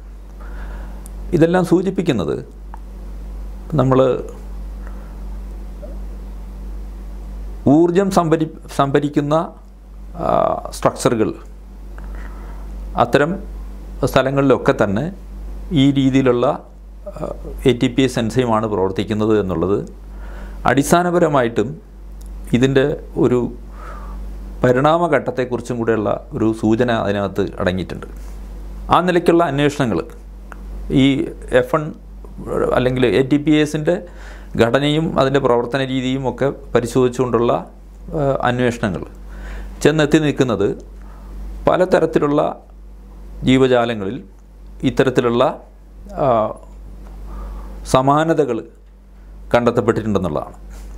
അത് ഉപയോഗിക്കുന്ന അയോണുകളും അയോൺ ചാനലുകളിൽ ഉപയോഗിക്കുന്ന അയോണുകൾ. ചിലതിൽ സോഡിയം ആയിരിക്കും ചിലത് പ്രോട്ടോൺ ആയിരിക്കും ചിലതിൽ സോഡിയം പോലുള്ള അയോണുകളായിരിക്കും. മെഗ്നീഷ്യം. ഇങ്ങനെ വ്യത്യസ്തങ്ങളായ അയോണുകൾ ഉപയോഗിക്കുന്ന സാഹചര്യവും ഒക്കെ പലതരത്തിലുള്ള ജീവജാലങ്ങളിൽ കണ്ടെത്താൻ കഴിഞ്ഞിട്ടുണ്ട്.